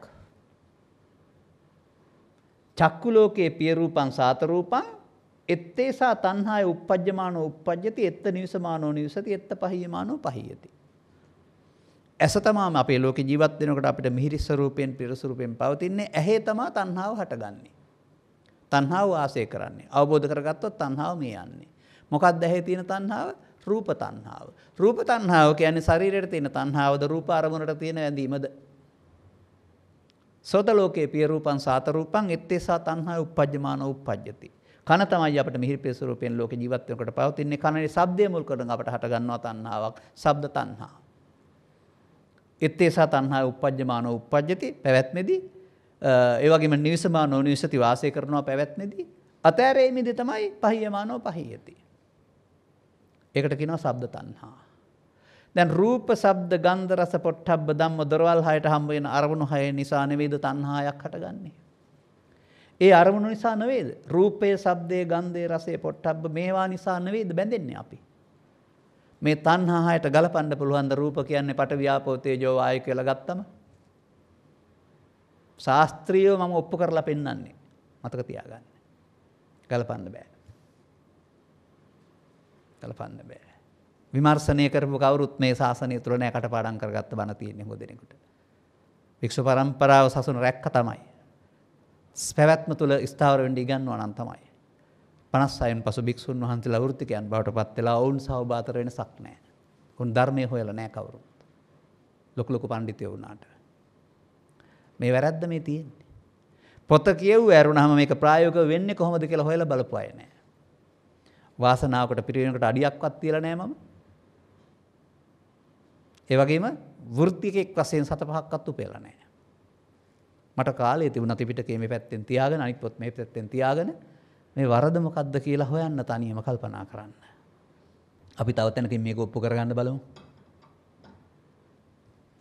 ආස්වාද සූත්‍රයේ මෙහෙමයි තියෙන්නේ. චක්කුණා රූපං දිස්වා uppajjati සුඛං සෝමනස්සං අයං රූපස්ස ආස්වාදෝ රූපේ ආස්වාදය කියන්නේ මොකක්ද කියලා කියලා තියෙන්නේ. ඇහැට රූපයක් දැක්කහම සත්ප සැප සතුටක් උපදිනවා. ඒකට කියනවා රූපේ ආස්වාදය. දැන් රූපේ ආස්වාදය කියන්නේ ශරීරයේ ආස්වාදයේද?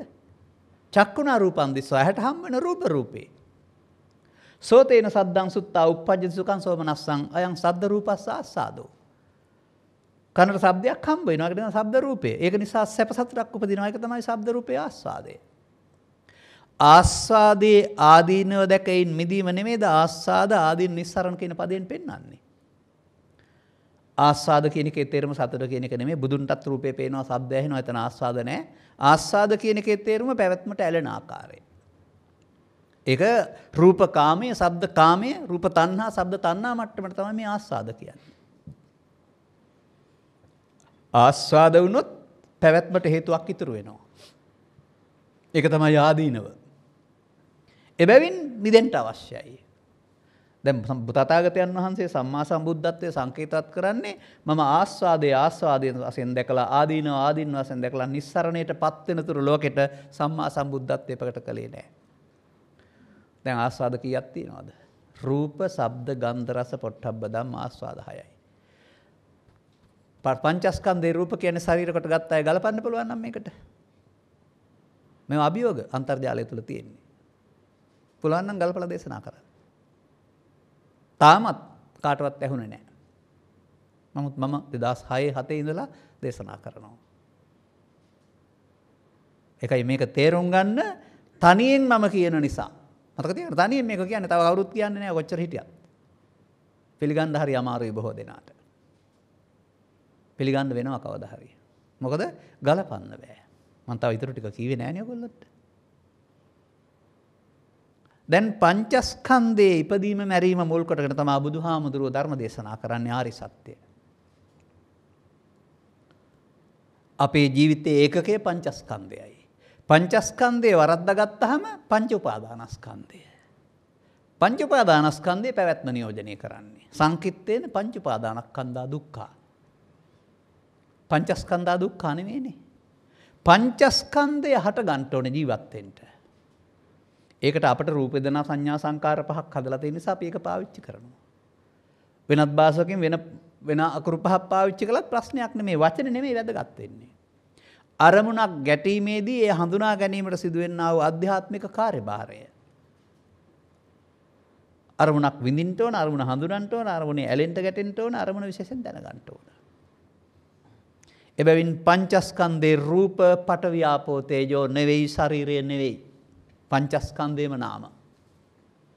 පංචස්කන්ධේ රූප කියලා ගත්ත කට්ටියට මිනිස් ලෝකය සහ තිරිසන් ලෝකයෙන් එහාට සත්ත්ව ලෝකයක් ඔප්පු කරන්න බෑ. ඇයි? භූත ප්‍රේත කියන සත්වයින්ට සසම්බාරික කයක් නැහැ, කටින් ගන්න ආහාර සහිත කයක් නැහැ. දෙවියන්ටත් නැහැ. බ්‍රහ්මයින්ටත් නැහැ. රූප කියන්නේ පටවිය ආපෝ තේජනම් තිරිසන් සත්තුන්ඩයි අපට විතරයි ඒක තියෙන්නේ. නමුත් නවසස්ථාවාසයේ 31 තලයේම උපදින අයට රූප වේදනා සංඥා සංකාර පහක් ඒවත් පංච උපාදානස්කන්ධය. එහෙනම් රූප කියන්නේ පටවි වෙන්න බෑනේ. අන්න එහෙමයි අපි ඒව ගලපලා පෙන්වන්නේ. පව් කරන්නාට පව රූප වෙන්න පුළුවන්. පින් කරන්නාට පින රූප වෙන්න පුළුවන්. ධානලාභියාට ධානයේ රූප වෙන්න පුළුවන්. අන්න එහෙමයි රූප වෙන්නේ. එන ආරම්මණය. කර්මස්ථානය. දැන් මේ රූප වේදනා සංඥා සංකාර පහ සම්බන්ධයෙන් ලෝකයාගේ පිළිගැනීම මොකද්ද? බුදුහාමුදුරන්ගේ එලිකිරීම මොකද්ද? අන්න ඒකයි හොයාගන්න ඕන.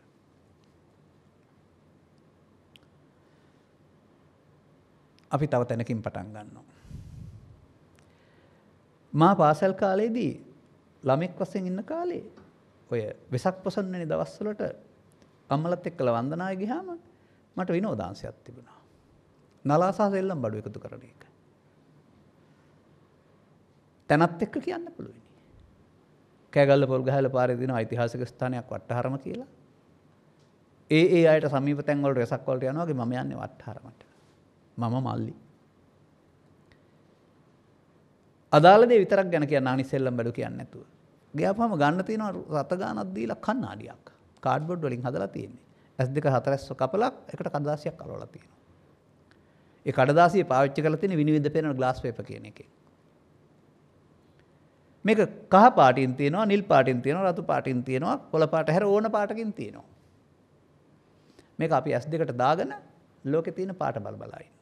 රතු පාටින් දාගත්තාම මුළු ලෝකෙම රතු පාටට පේන්නේ. නිල් පාටින් දාගත්තාම මුළු ලෝකෙම නිල් පාටට පේන්නේ. කහ පාටින් දාගත්තාම ලෝකේ කහ පාට වෙලා පේන්නේ. දැන් අර ලෝකේ පාට වෙනස් වීම ලෝකයේද කණ්ණාඩියද තියෙන්නේ? වැරදි කණ්ණාඩියකින් ලෝක දිහා බලනකොට ඒ විදිහට ලෝකෙ පෙනුනට ඒක ලෝකෙ වැරද්ද නෙමෙයි කණ්ණාඩිය වැරද්ද. ඔබත් ළමා කාලේ බුදුදහම පිළිබඳ වැරදි කණ්ණාඩියක් දාගන්න. ඒක උඩනේ බණ අහන්නේ.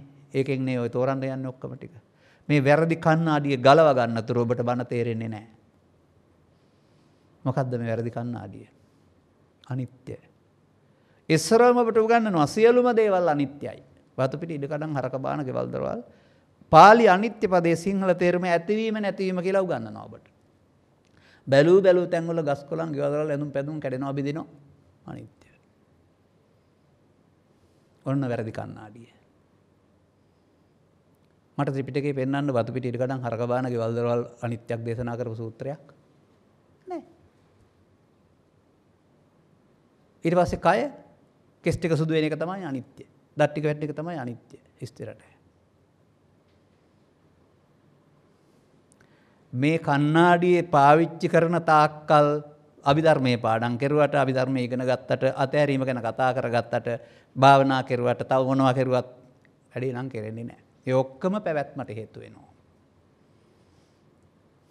මතක තියාගන්න. අපි මේක හරියට පෙන්වලා දෙන්නම්. තේරුම් ගන්න උත්සාහ කරන්නකෝ. කුද්දක නිකායේ තියෙන බිදුර කියලා සූත්‍රයක්. මේ බිදුර සූත්‍රයේ පොඩි රහසක් හංගලා තියෙනවා මොනවද අනිත්‍ය කියලා. ඒක හැබැයි බාහිර වස්තු ගැන කතාවක්වත් නෑ ඒක ඕනම නෑ.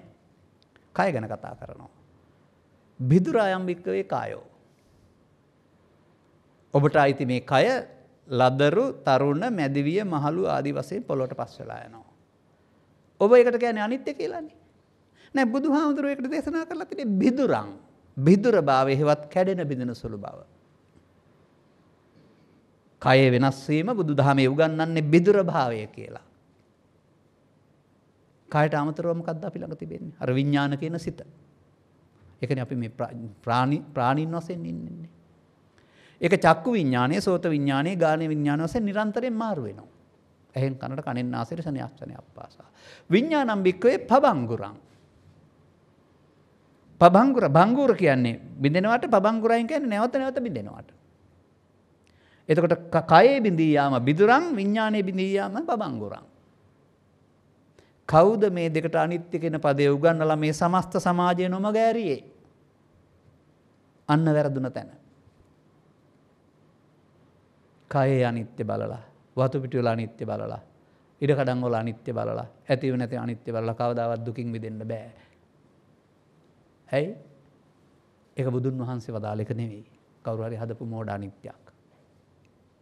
හැබැයි බුදුන් වහන්සේ අතහරින්න දේශනා කළෙත් අනිත්‍ය විතරයි. අනිත්‍ය විතරයි බුදු සමේ ධර්මය. ඒ අනිත්‍ය නැමති ධර්මයේ සරණෙන් මොනවද අතෑරෙන්න ඕන?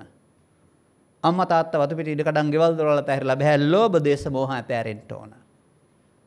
මමත්වයට අයිති සියලු දේවල් අතහැරෙන්න ඕන අනිත්‍ය නැමැති ධර්මයේ සරණින්.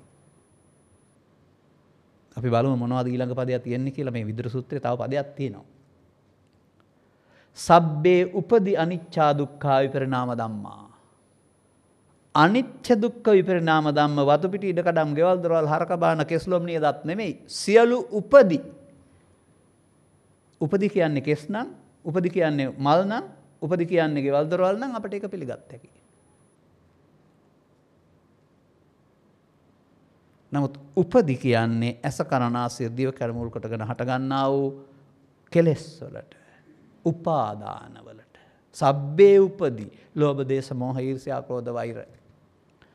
ලෝභ දේශ මොහ ඊර්ෂ්‍යා ක්‍රෝධ වෛර හමුවේදී තමයි කෙලෙස් කියලා කියන්නේ මෙව්ව සම්බන්ධයෙන් තමයි ලෝකයාගේ දැක්ම නිත්‍ය සුඛාත්ම බුදුහාමුදුරන්ගේ දැක්ම අනිදුක්ඛානාත්ම ලෝකයාගේ දැක්ම පැවැත්ම නියෝජනය කරනු ලබනවා බුදුහාමුදුරන්ගේ දැක්ම නැවැත්ම නියෝජනය කරනු ලබනවා. මෙන්න මේ පැවැත්ම ඉන්න අයට කියනවා අනුසෝතගාමීන් කියලා. පව් හරි පින් හරි ධාන හරි ගිහි හරි පැවිදි හරි උපසම්පදා හරි ඕන එකක්. මේක තේරුම් ගත්තාම ආපහු හැරෙනකොට කියනවා පටිසෝතගාමි නැවැත්ම අතහැරීම. ඒකට තව ටිකක් අවශ්‍යයි තේරුම් ගන්න. ඒක තව ටිකක් හොඳින් විග්‍රහ කරන්න ඕන නිසා තමයි මේ කලබල නැතුව අරන් යන්නේ. දැන් ඔබට තේරුණාද බුදුහාමුදුරන්ගේ ධර්මයේ කෙස් හරි වතු පිටි හරි ඉඩකඩම් හරි සම්බන්ධයෙන් අනිත්‍යයක් දේශනා කරලා නැහැ කියලා. ඒවා බිදුරම් පබංගුරම්. සිතට එකතු වෙන දේවල්ට කෙන උපදි ඒව සම්බන්ධයෙන් බුදුහාන්දුරන්ගේ ගැන්නීම අනිච්චන් දුක්කාම ප්‍රනාම දම්මා. දැන් යන්නවා මගුල්ලුස්සවයකට අනිත්‍යාවත සංකාරා. අනුශාසකින් වහන්සේලා ගිහි දේශකින් වහන්සේලා අර මැරිච්ච පුද්ගලයා අනිත්‍ය. ඇතේ නැති වෙලා. ඒක නෙමෙයිද ඔබ අනිත්‍ය. බුදුහාමුදුරුව මොනවද දේශනා කරලා තියෙන්නේ මොනවා අනිත්‍ය සම්බන්ධය දේශනා කරලා තියෙන්නේ. කය නෙවෙයි නම් බාහිර වස්තු නෙවෙයි නම් මොනවද බුදුහාමුදුරුවන්ගේ ධර්මය අනිත්‍ය. අපි යමු හොඳම තැනකට. ගිහින් ඊට පස්සේ තව කීපයක් අරන් පෙන්නන්නම් මම ඔබට. අංගුත්තර නිකායේ තියෙන ලස්සන සූත්‍රයක් සමහර විට බොහෝ දෙනා මේකේ මැද කොටස දන්නවා අග කොටස විතරයි දන්නේ නැත්තේ. වක්කලි කියලා. වක්කලි චරිතය දෑසින් බුදුන් දැක සතුටු වෙන්න පුරුදු වෙච්ච චරිතයක්. එබැවින් අදත් රූපෙන් බුදුන් දකින්න ඉන්න අයට මම කියන්නේ වක්කලිලා කියලා. නූතන වක්කලිලා. අනාගත බුදුහාමුදුරුවෝ දැකලා නිවන් දකින්න හිතාන ඉන්න ඔක්කොමත් වක්කලිවාදීන්. වක්කලිට බුදුහාමුදුරුවෝ අදාරනවා කිංතේ වක්කලි ඉමිනාපූතිකායන දිත්තේන යෝකෝ වක්කලියේ ධම්මං පස්සති සෝමං පස්සති. අපටත් අලංගුයි මේක. ඒ කතා ඔක්කොම කියන්නේ නැතුව සාරාංශය විතරයි ගත්තේ. ඉතින් වක්කලීමේ දෙතිස් කොටසෙන් යුක්ත ශරීරය දිහා බලන් ඉඳලා ඇති වෙන සැපත මොකක්ද? යමෙක් ධර්මයේ දකීද බුදුන් දකී. ධම්මං හි වක්කලි පස්සන්තෝ මං පස්සති මං පස්සන්තෝ ධම්මං පස්සති. හරි. දැන් මේ නියමයට අනුවගත් කල බුදුන් දකින්ට ධර්මයේ දකින්ට නොන. බුදුන් දැකීම ඇසින් කරන වැඩක් නම් අවුරුදු 45ක 80ක කාලයක් ಭಾರತೀයන්ට විතරයි බුදුන් දකින්න හම්බ වෙන්නේ ඉන්දිය ලංකාවට ආපු අවස්ථාව විතරයි. එදායින් පස්සේ කාටවත් බුදුන් දකින්න බෑ. නමුත් ධර්මයේ දැකීම බුදුන් දැකීම නම් එදත් අදත් ඉදිරියටත් ධර්මයේ හරියට තේරුම් ගන්න පුළුවන් නම් ධර්මයෙන් පෙන්වන බුදුන් බලන්න පුළුවන්. හැබැයි ධර්මයේ දකින්න නැතුව බුදුන් දකින්න බෑනේ. ධර්මයේ වැරදි නම් බුදුන් පේන්නේ නැහැ කාටවත්. අපි මෙහෙමත් පැත්තක් ගනිමු. ඔබේ දෘෂ්ටි නැත්නම් ඔබේ තියෙන මතවාද වල ඛණ්ඩනයක් සඳහා. අදත් ගිහි පැවිදි සමාජය තුළ තියෙන මතයක් තමයි මේ ගෞතම ශාසනය තුළ නිවන් ලබන්ට බෑ අනාගත බුදු හාදර කම්පින් කරන්නට ඕන. ගිහිව ඉඳන් කවදාවත් මේක කරන්න පෑ පැවිදි වෙන්න ඕන. මේ තමයි ඔබ දාගත්ත වැරදි කන්නාඩි. අර මමගේ මුලින් කන්නාඩි දාගත්තම වැරදිට පේනවායි කියලා. මේ කන්නාඩි ත්‍රිපිටකයේ තියෙන බුද්ධ වචනේ ආශ්‍රයෙන් ගලවලා දාන්න. මම ඔබට සූත්‍ර දෙකක් පෙන්නනවා. බහුකාර කෙටියෙන් පෙන්වන්නේ මට අනිකට කාලය ඕන නිසා. භික්ෂුන් වහන්සේලාට බමුණු උපස්ථාන කරනවා සිව්පසයෙන්. බුදුහාමුදුරුවෝ මේක මුල් කරන බහුකාර සූත්‍රය දේශනා කරනවා. මහණෙනි ඔබට මේ බ්‍රාහ්මණ ගෘහපතීන් සිව්පසයෙන් උපස්ථාන කරනු ලබනවා. ඔබලා උන්ට ධර්ම දාණයෙන් ප්‍රතිඋපකාර කරන්න දෙගොල්ලම එක්කලා දුකින් මිදෙන්න. ඒකයි ඒකේ තේමාව. උපයන්නා උපයන දෙයින් උපස්ථාන කරන්න ඕන ධර්මයේ තියෙන කෙනා ධර්මයේ දෙන්න ඕන. අර පූජා කරන කෙනාට පින් සිද්ධ කරන දිව්‍ය ලෝකයට යන්න කියලා නෙමෙයි බුදුහාමුදුරුවෝ අදාරන්නේ. දෙගොල්ලම එකතු වෙලා දුකින් මිදෙන්න. උපේන පුද්ගලයාට දුකින් මිදීම අයිති, දේශනා කරන පුද්ගලයාටත් අයිති. ඇයි ධර්ම දාණයෙන් දුකින් මිදෙනවා. උපේන පුද්ගලයා ගිහියා නෙවෙයිද? මේ බුද්ධ වචනයක් මම ඔබට පෙන්වුවේ. අංගුත්තර නිකායේ තියෙන තව සූත්‍රයක්. මේකට කියනවා නගර කියලා.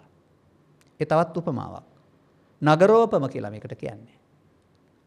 ඒක බුදුන් වහන්සේ ධර්ම දේශනා කිරීම පිළිබඳ උපමා කරලා උන්වහන්සේ වදාළ සූත්‍රයක්. අතීත කතාවක් පෙන්නනවා. කැපෙන උපකරණයක් අරන් වනාන්තරයට යන පුද්ගලයෙක්. ඔහු කැලෑව පාදනකට ඔහුට පඩිපෙලක් හම්බ වෙනවා නටමුන් උන. මේ ඔස්සේ ඔහු ඉදිරියට යනවා. ඔහුට නටමුන් නගරයක් හම්බ වෙනවා. එතෙක් මිනිසුන් දැකලා තිබිලා නැහැ ඒක. ඔහුට මේ ප්‍රතිසංස්කරණය කරන්න වත්කමක් නැහැ. ඔහු මේ සඟවා තබා ගන්න නැතුව රටේ රජතුමාට වාර්තා කරනවා. රජතුමා පඩිපෙළ ඔස්සේ ගොස් මේ නගරයේ අතීත විභූතිය මතු කර ගන්නවා. මහණනි පෙරවුවක් කියමි කියලා මේක උපමාවක් වශයෙන් පෙන්වන්නේ බුදුහාමුදුරුවෝ. මේ වැසුණු නගරයේ සොයාගෙන ප්‍රතිසංස්කරණය කිරීම තමන් කරන ක්‍රියාවට ගලපලා දේශනා කරන බැවින් ඒකට කියනවා නගරෝපම සූත්‍රය කියලා. මහණනි මමත් ඒ වගේ. මා උපන් විට පෙර බුදුවරුගේ මග වැසී තිබුණා. මට ඒක හොයාන යන්න සිද්ධ වුණා. ඒක තමයි පඩි පෙළ සම්මාදිට්ඨි සම්මා සංකප්ප සම්මා වාචා අටයි තියෙන පඩි. ගියාපුවම පෙර බුදුවරු හොයාගෙන වැසී තිබුණා වූ නිර්වාණය නැමැති නගරේ මට හම්බ වුණා. බුද්ධත්වයෙන් හොයාගත්තේ.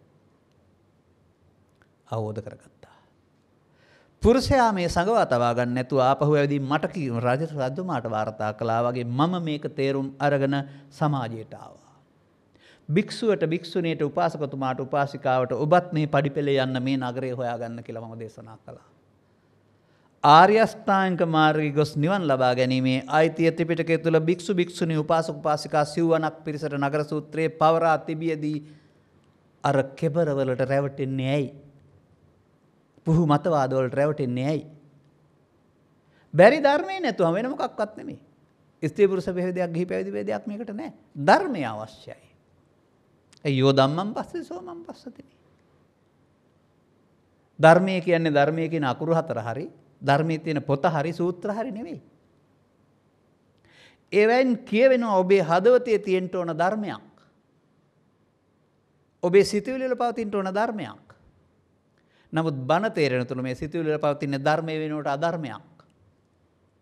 නැවැත්ම වෙනුවට පැවැත්මට සාධක එකතු කරමින් ඔබ ඉන්නේ. අන්න ඒක තේරුම් ගන්න. කොහොමද අපි ඒක තේරුම් ගන්නේ? වක්කලීට මේ වදන වදාළන බුදුරජාණන් වහන්සේ. ධර්මයේ දකීද බුදුන් දකී කියලා ඊට පස්සේ බුදුහාමුදුරුවෝ ධර්මයේ දකින්න හැටි උගන්වනවා වක්කලීට.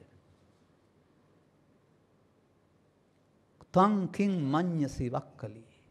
වක්කලී ඔබ මොකද මේ ගැන හිතන්නේ? අන්න අර දාන කතා සීල කතා සග්ග කතා ආරවම මොකක්වත් නැහැ. කෙලින්ම එනවා පංචස්කන්ධයට. අහනවා. රූපය අනිත්‍යද නිට්ටයද? වේදනාව අනිත්‍යද නිට්ටයද? නෑ වේ රූපය අනිත්‍යද නිට්ටයද? රූපය දුකද සුක්ඛද රූපය අනාත්මද ආත්මද? වේදනාව අනිත්‍යද දුක්ඛ නිට්ටයද? වේදනාව දුකද සුක්ඛද වේදනාව අනාත්මද ආත්මද? මෙම රූප වේදනා සංඥා සංකාර පහට අනිත්‍යද දුක්ඛද අනාත්මද නිට්ටයද සුඛද ආත්මද කියලා අහලා තියෙනවා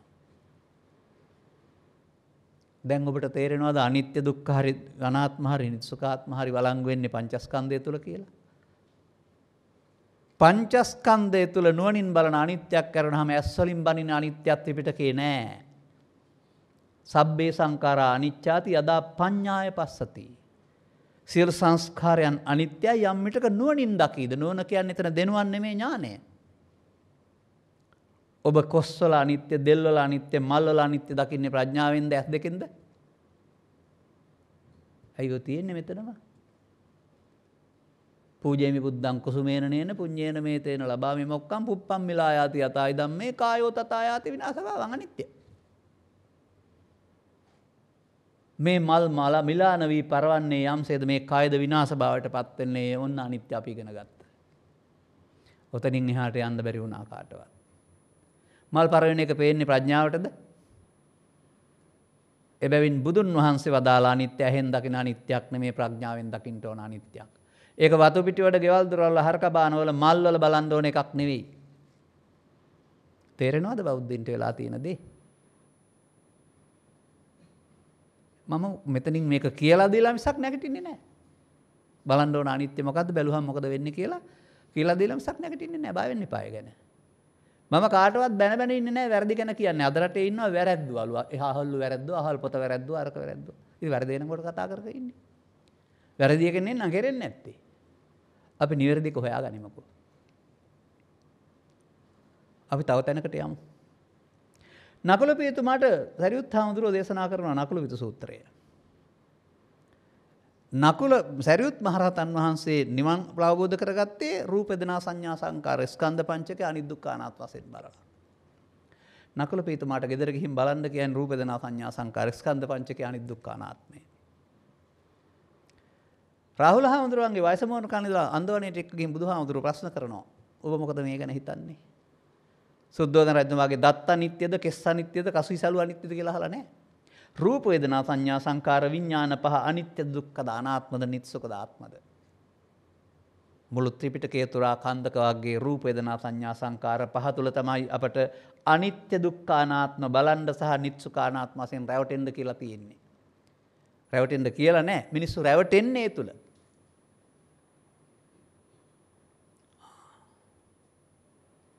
තව ටිකක් එහාට අපි යමු. ස්වාමීනි අනිත්‍යයි දුක්ඛයි අනාත්මයි බුදුහාමුදුරන්ට උත්තර දෙනවා. බක්කලි හාමුදුරුව. හැබැයි ඔබ ගන්න එපා ඔය ඔබ දකිනාර්ථයෙන් මේ කියන්නේ කියලා අනිත්‍යයි ස්ථිර නැහැ දුක්ඛයි දුකයි අනාත්මයි ආත්මයක් නැහැ කියලා. ඕකම ගලපන්න බෑ බුද්ධ චරිතයට. මං කිය හොඳ නුවණක් තියෙන්න ඕන කියලා මම තේරෙන්න. බුදුහාමුදුරුව බුද්ධත්වයට පත් වුණා. අවුරුදු 35 සිට 80 දක්වා ජීවත් වුණා. සියලු ඉරියව්වදී පාවිච්චි කළේ රූප දෙනා සංඥා සංකාර විඥාන කියන ස්කන්ධ පහ. ස්කන්ධ පහේ හැම වෙලාවෙම තිබුණේ අනිදුක්ඛ අනාත්මය. අරුණම වංජපාදාන ස්කන්ධ තිබුණේ නැහැ. දුක්ඛයි කියන්නේ දුකයි නම් බුදුහාමුදුරන්න බුදු වෙන්න ඉස්සලා තිබුණට වඩා දුක් තියෙන්න ඕන දැන්. ඇයි ස්කන්ධ පහක් පහක් පාසාම අනාත්මයනේ. දුක්ඛ කියන්නේ දුක නම් බුදුහාමුදුරුවෝ තරම් දුක් විඳපු කෙනෙක් ඉඳලා නැහැ ලෝකේ. බුදුහාමුදුරුවෝ දේශනා කරනවා පංචස්කන්ධය අනාත්මයේදී උන්වහන්සේලා වළඳන්නේ දුක නෙවෙයි නිවන් සුව කියලා.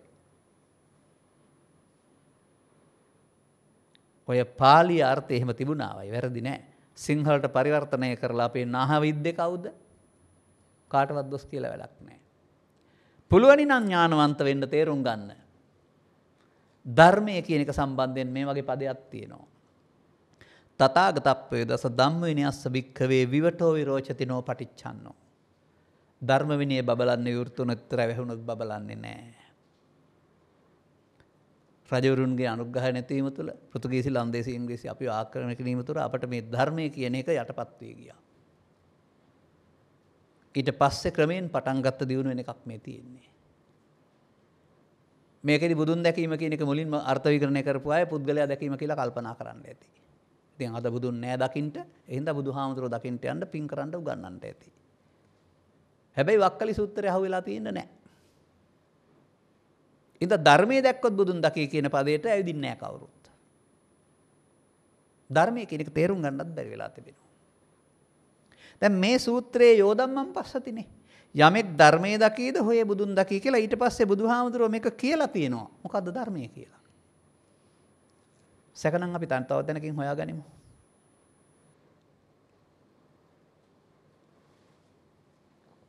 ඔබ දන්න දහම්සම ජාතකයට යන්න. දහම්සොන් රජතුමාගේ කතාවේ තියෙනවා රජකම හම්බ වුණයි කියලා. කෙටි මේ ඔක්කොම කතන්දර කියන්නේ.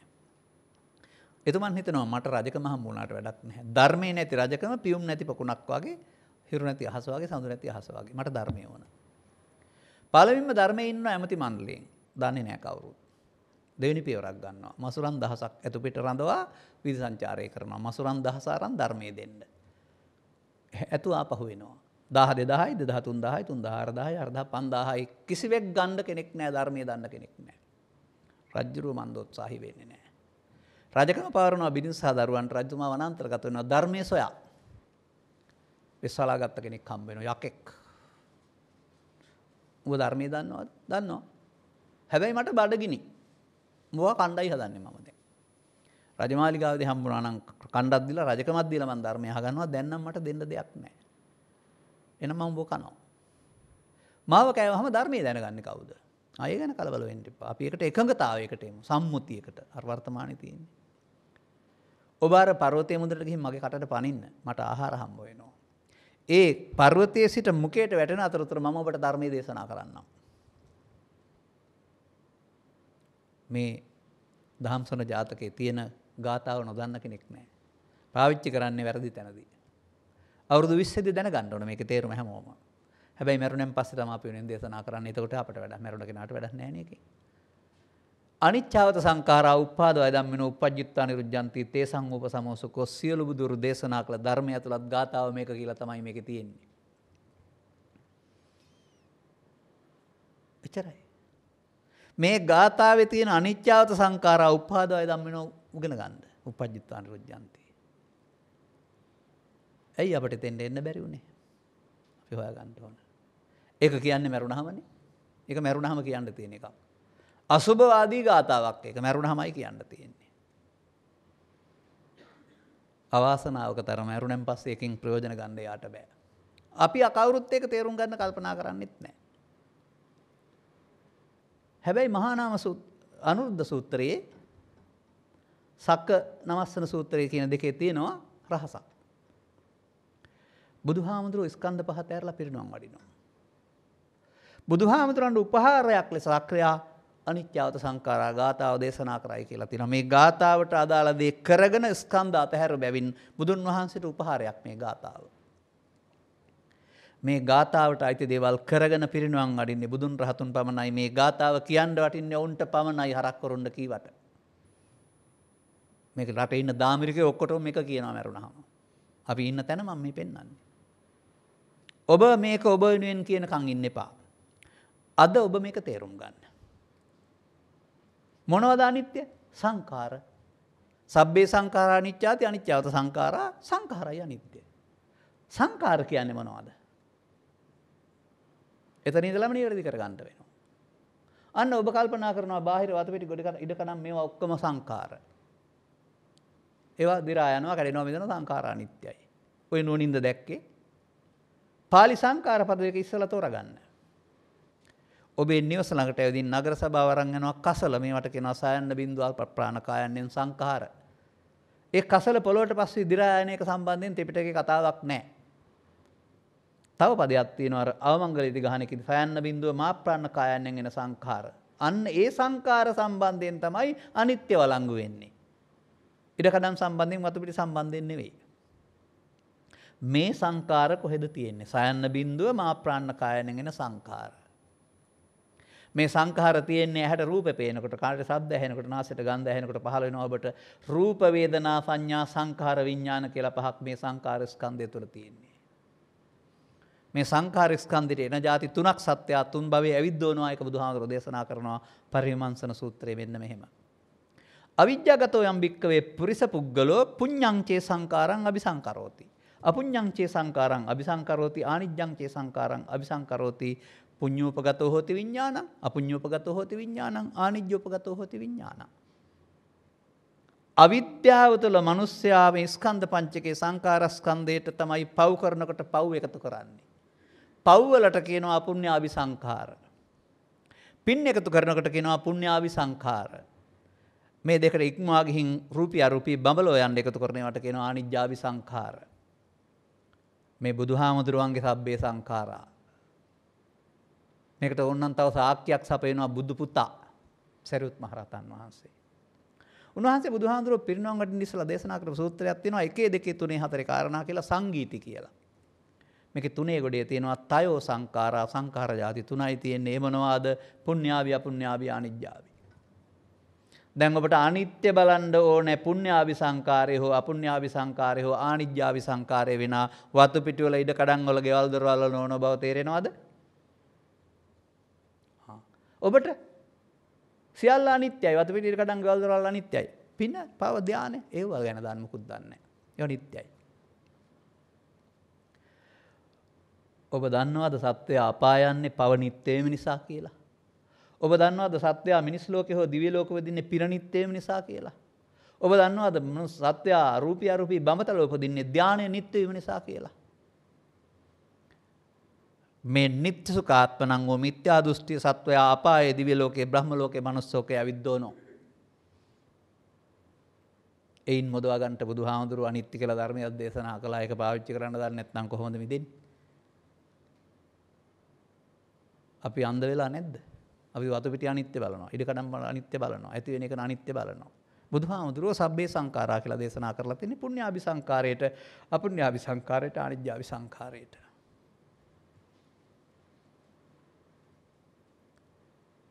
මම තව තැනකින් මේක පෙන්වන්නම්.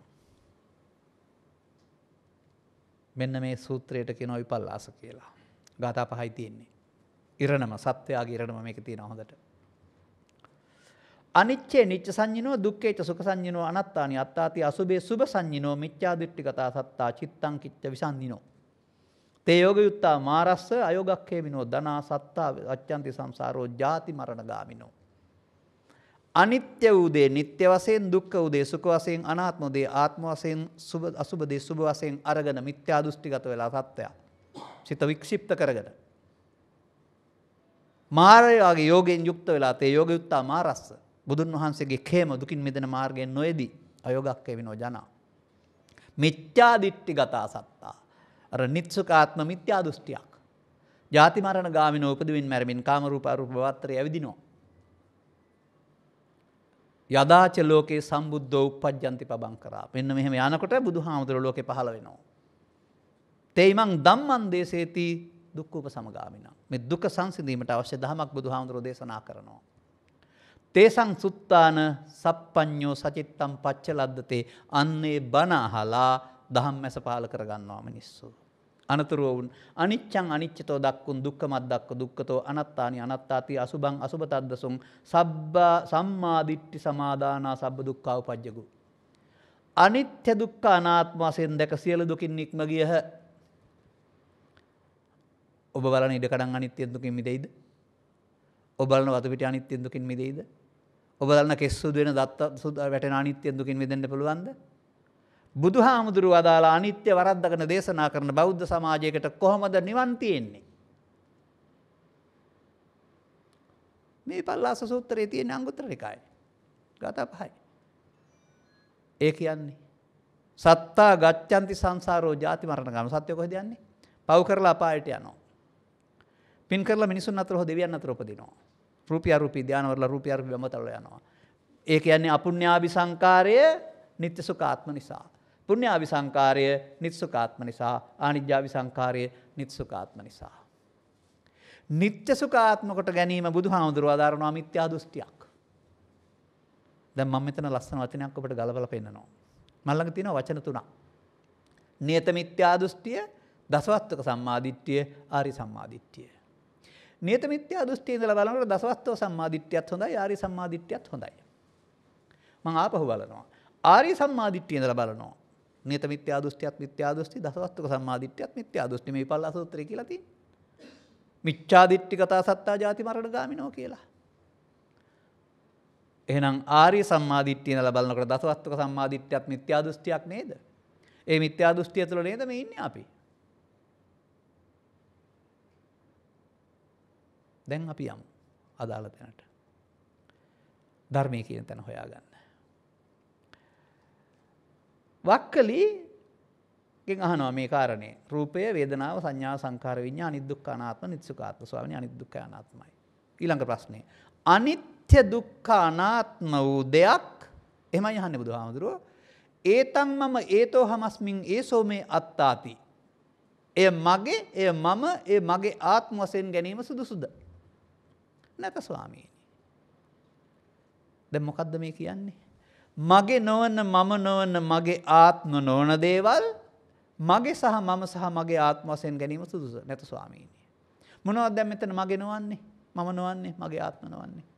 ඒ රූප වේදනා සංඥා සංකාර ස්කන්ධයට එන ඕනෑම දෙයක්. රූපේදී රූපකාමයේ, ශබ්දේදී ශබ්දකාමයේ, නාසයේදී ගන්ධකාමයේ, නැත්නම් රූප තණ්හා, ශබ්ද තණ්හා, ගන්ධ තණ්හා, රස තණ්හා. එහෙම නැත්නම් ලෝභය, දේශය, මෝහය, ඊර්ෂ්‍යාව, ක්‍රෝධය, වෛරය ඒ අරමුණට එන දේ. ඒතං එය. ඒතං මම ඒතෝ අහං අස්මින් ඒසෝ මේ අත්තා. ඒ මගය, ඒ මමය, ඒ මගේ ආත්මය. මොනවද මේ එය? ඒ ඒ පංචස්කන්ධයට ආපු රූප තණ්හා හෝ, ශබ්ද තණ්හා හෝ, ගන්ධ තණ්හා හෝ, වෛරය හෝ, ක්‍රෝධය හෝ, ලෝභය හෝ, දේශය හෝ, පව හෝ, පින හෝ, ධානය හෝ ඕන දෙයක්. ඒතං එතකොට බුදුහාමුදුරන්ගේ ධර්මයේ පංචස්කන්ධයට එන දේ අල්ලා ගැනීමෙන් මම හැදෙන්නේ. අපි මම කියන්නේ කක්කෙස් වලටනේ. ශරීර කොටස් 32කටනේ. ඒක 32කට බෙදලා බලලා ඒකේ මම කියලා කෙනෙක් නෑ කියලා උගන්වන්නේ නේ. මෙන්න මේ අනුවන බණ අහලා තමයි බෞද්ධ අනාත උනේ. බුදුහාමුදුරන්ගේ මම කෙස් වල ලොම් වල නීදත් වල නෑ. බුදුහාමුදුරුව මම කියලා වදාරන්නේ පංචස්කන්ධයට එන දෙයට ඒතන් මම ඒතෝ අහං අස්මින් ඒසෝ මේ අත්තා. තරහාපුහම තරහ තමයි මගේ. තරහ තමයි මම තරහ තමයි මගේ ආත්මය. ලෝභය ඉපදුනහම ලෝභය තමයි මගේ ලෝභය තමයි මම ලෝභය තමගේ ආත්මය. පවාපුහම පව තමයි මගේ පව මම පව මගේ ආත්මය. පවා තෑරලා පිනා අල්ලගත්තාම පින තමයි මගේ පින තමයි මම පින මගේ ආත්මය. පිනා තෑරලා ධානය අල්ලගත්තොත් ධානය තමයි මගේ ධානය තමයි මම ධානය තමයි මගේ ආත්මය. අන්න නිත්‍යසුඛ ආත්ම පාපයේ නිත්‍යසුඛ ආත්මකට ගැනීම අපායටත් පින නිත්සුකාත්මට ගැනීමෙන් දිව ලෝකෙ සහ මනුස්ස ලෝකෙටත් ධ්‍යාන නිත්සුකාත්මට ගැනීමෙන් රූපී අපි බඹතලවලට සත්‍යයා නිත්‍යසුකාත්ම නම් වූ මිත්‍යා දෘෂ්ටිය ඇවිද්දෝනවා භවගාමිත්වේ.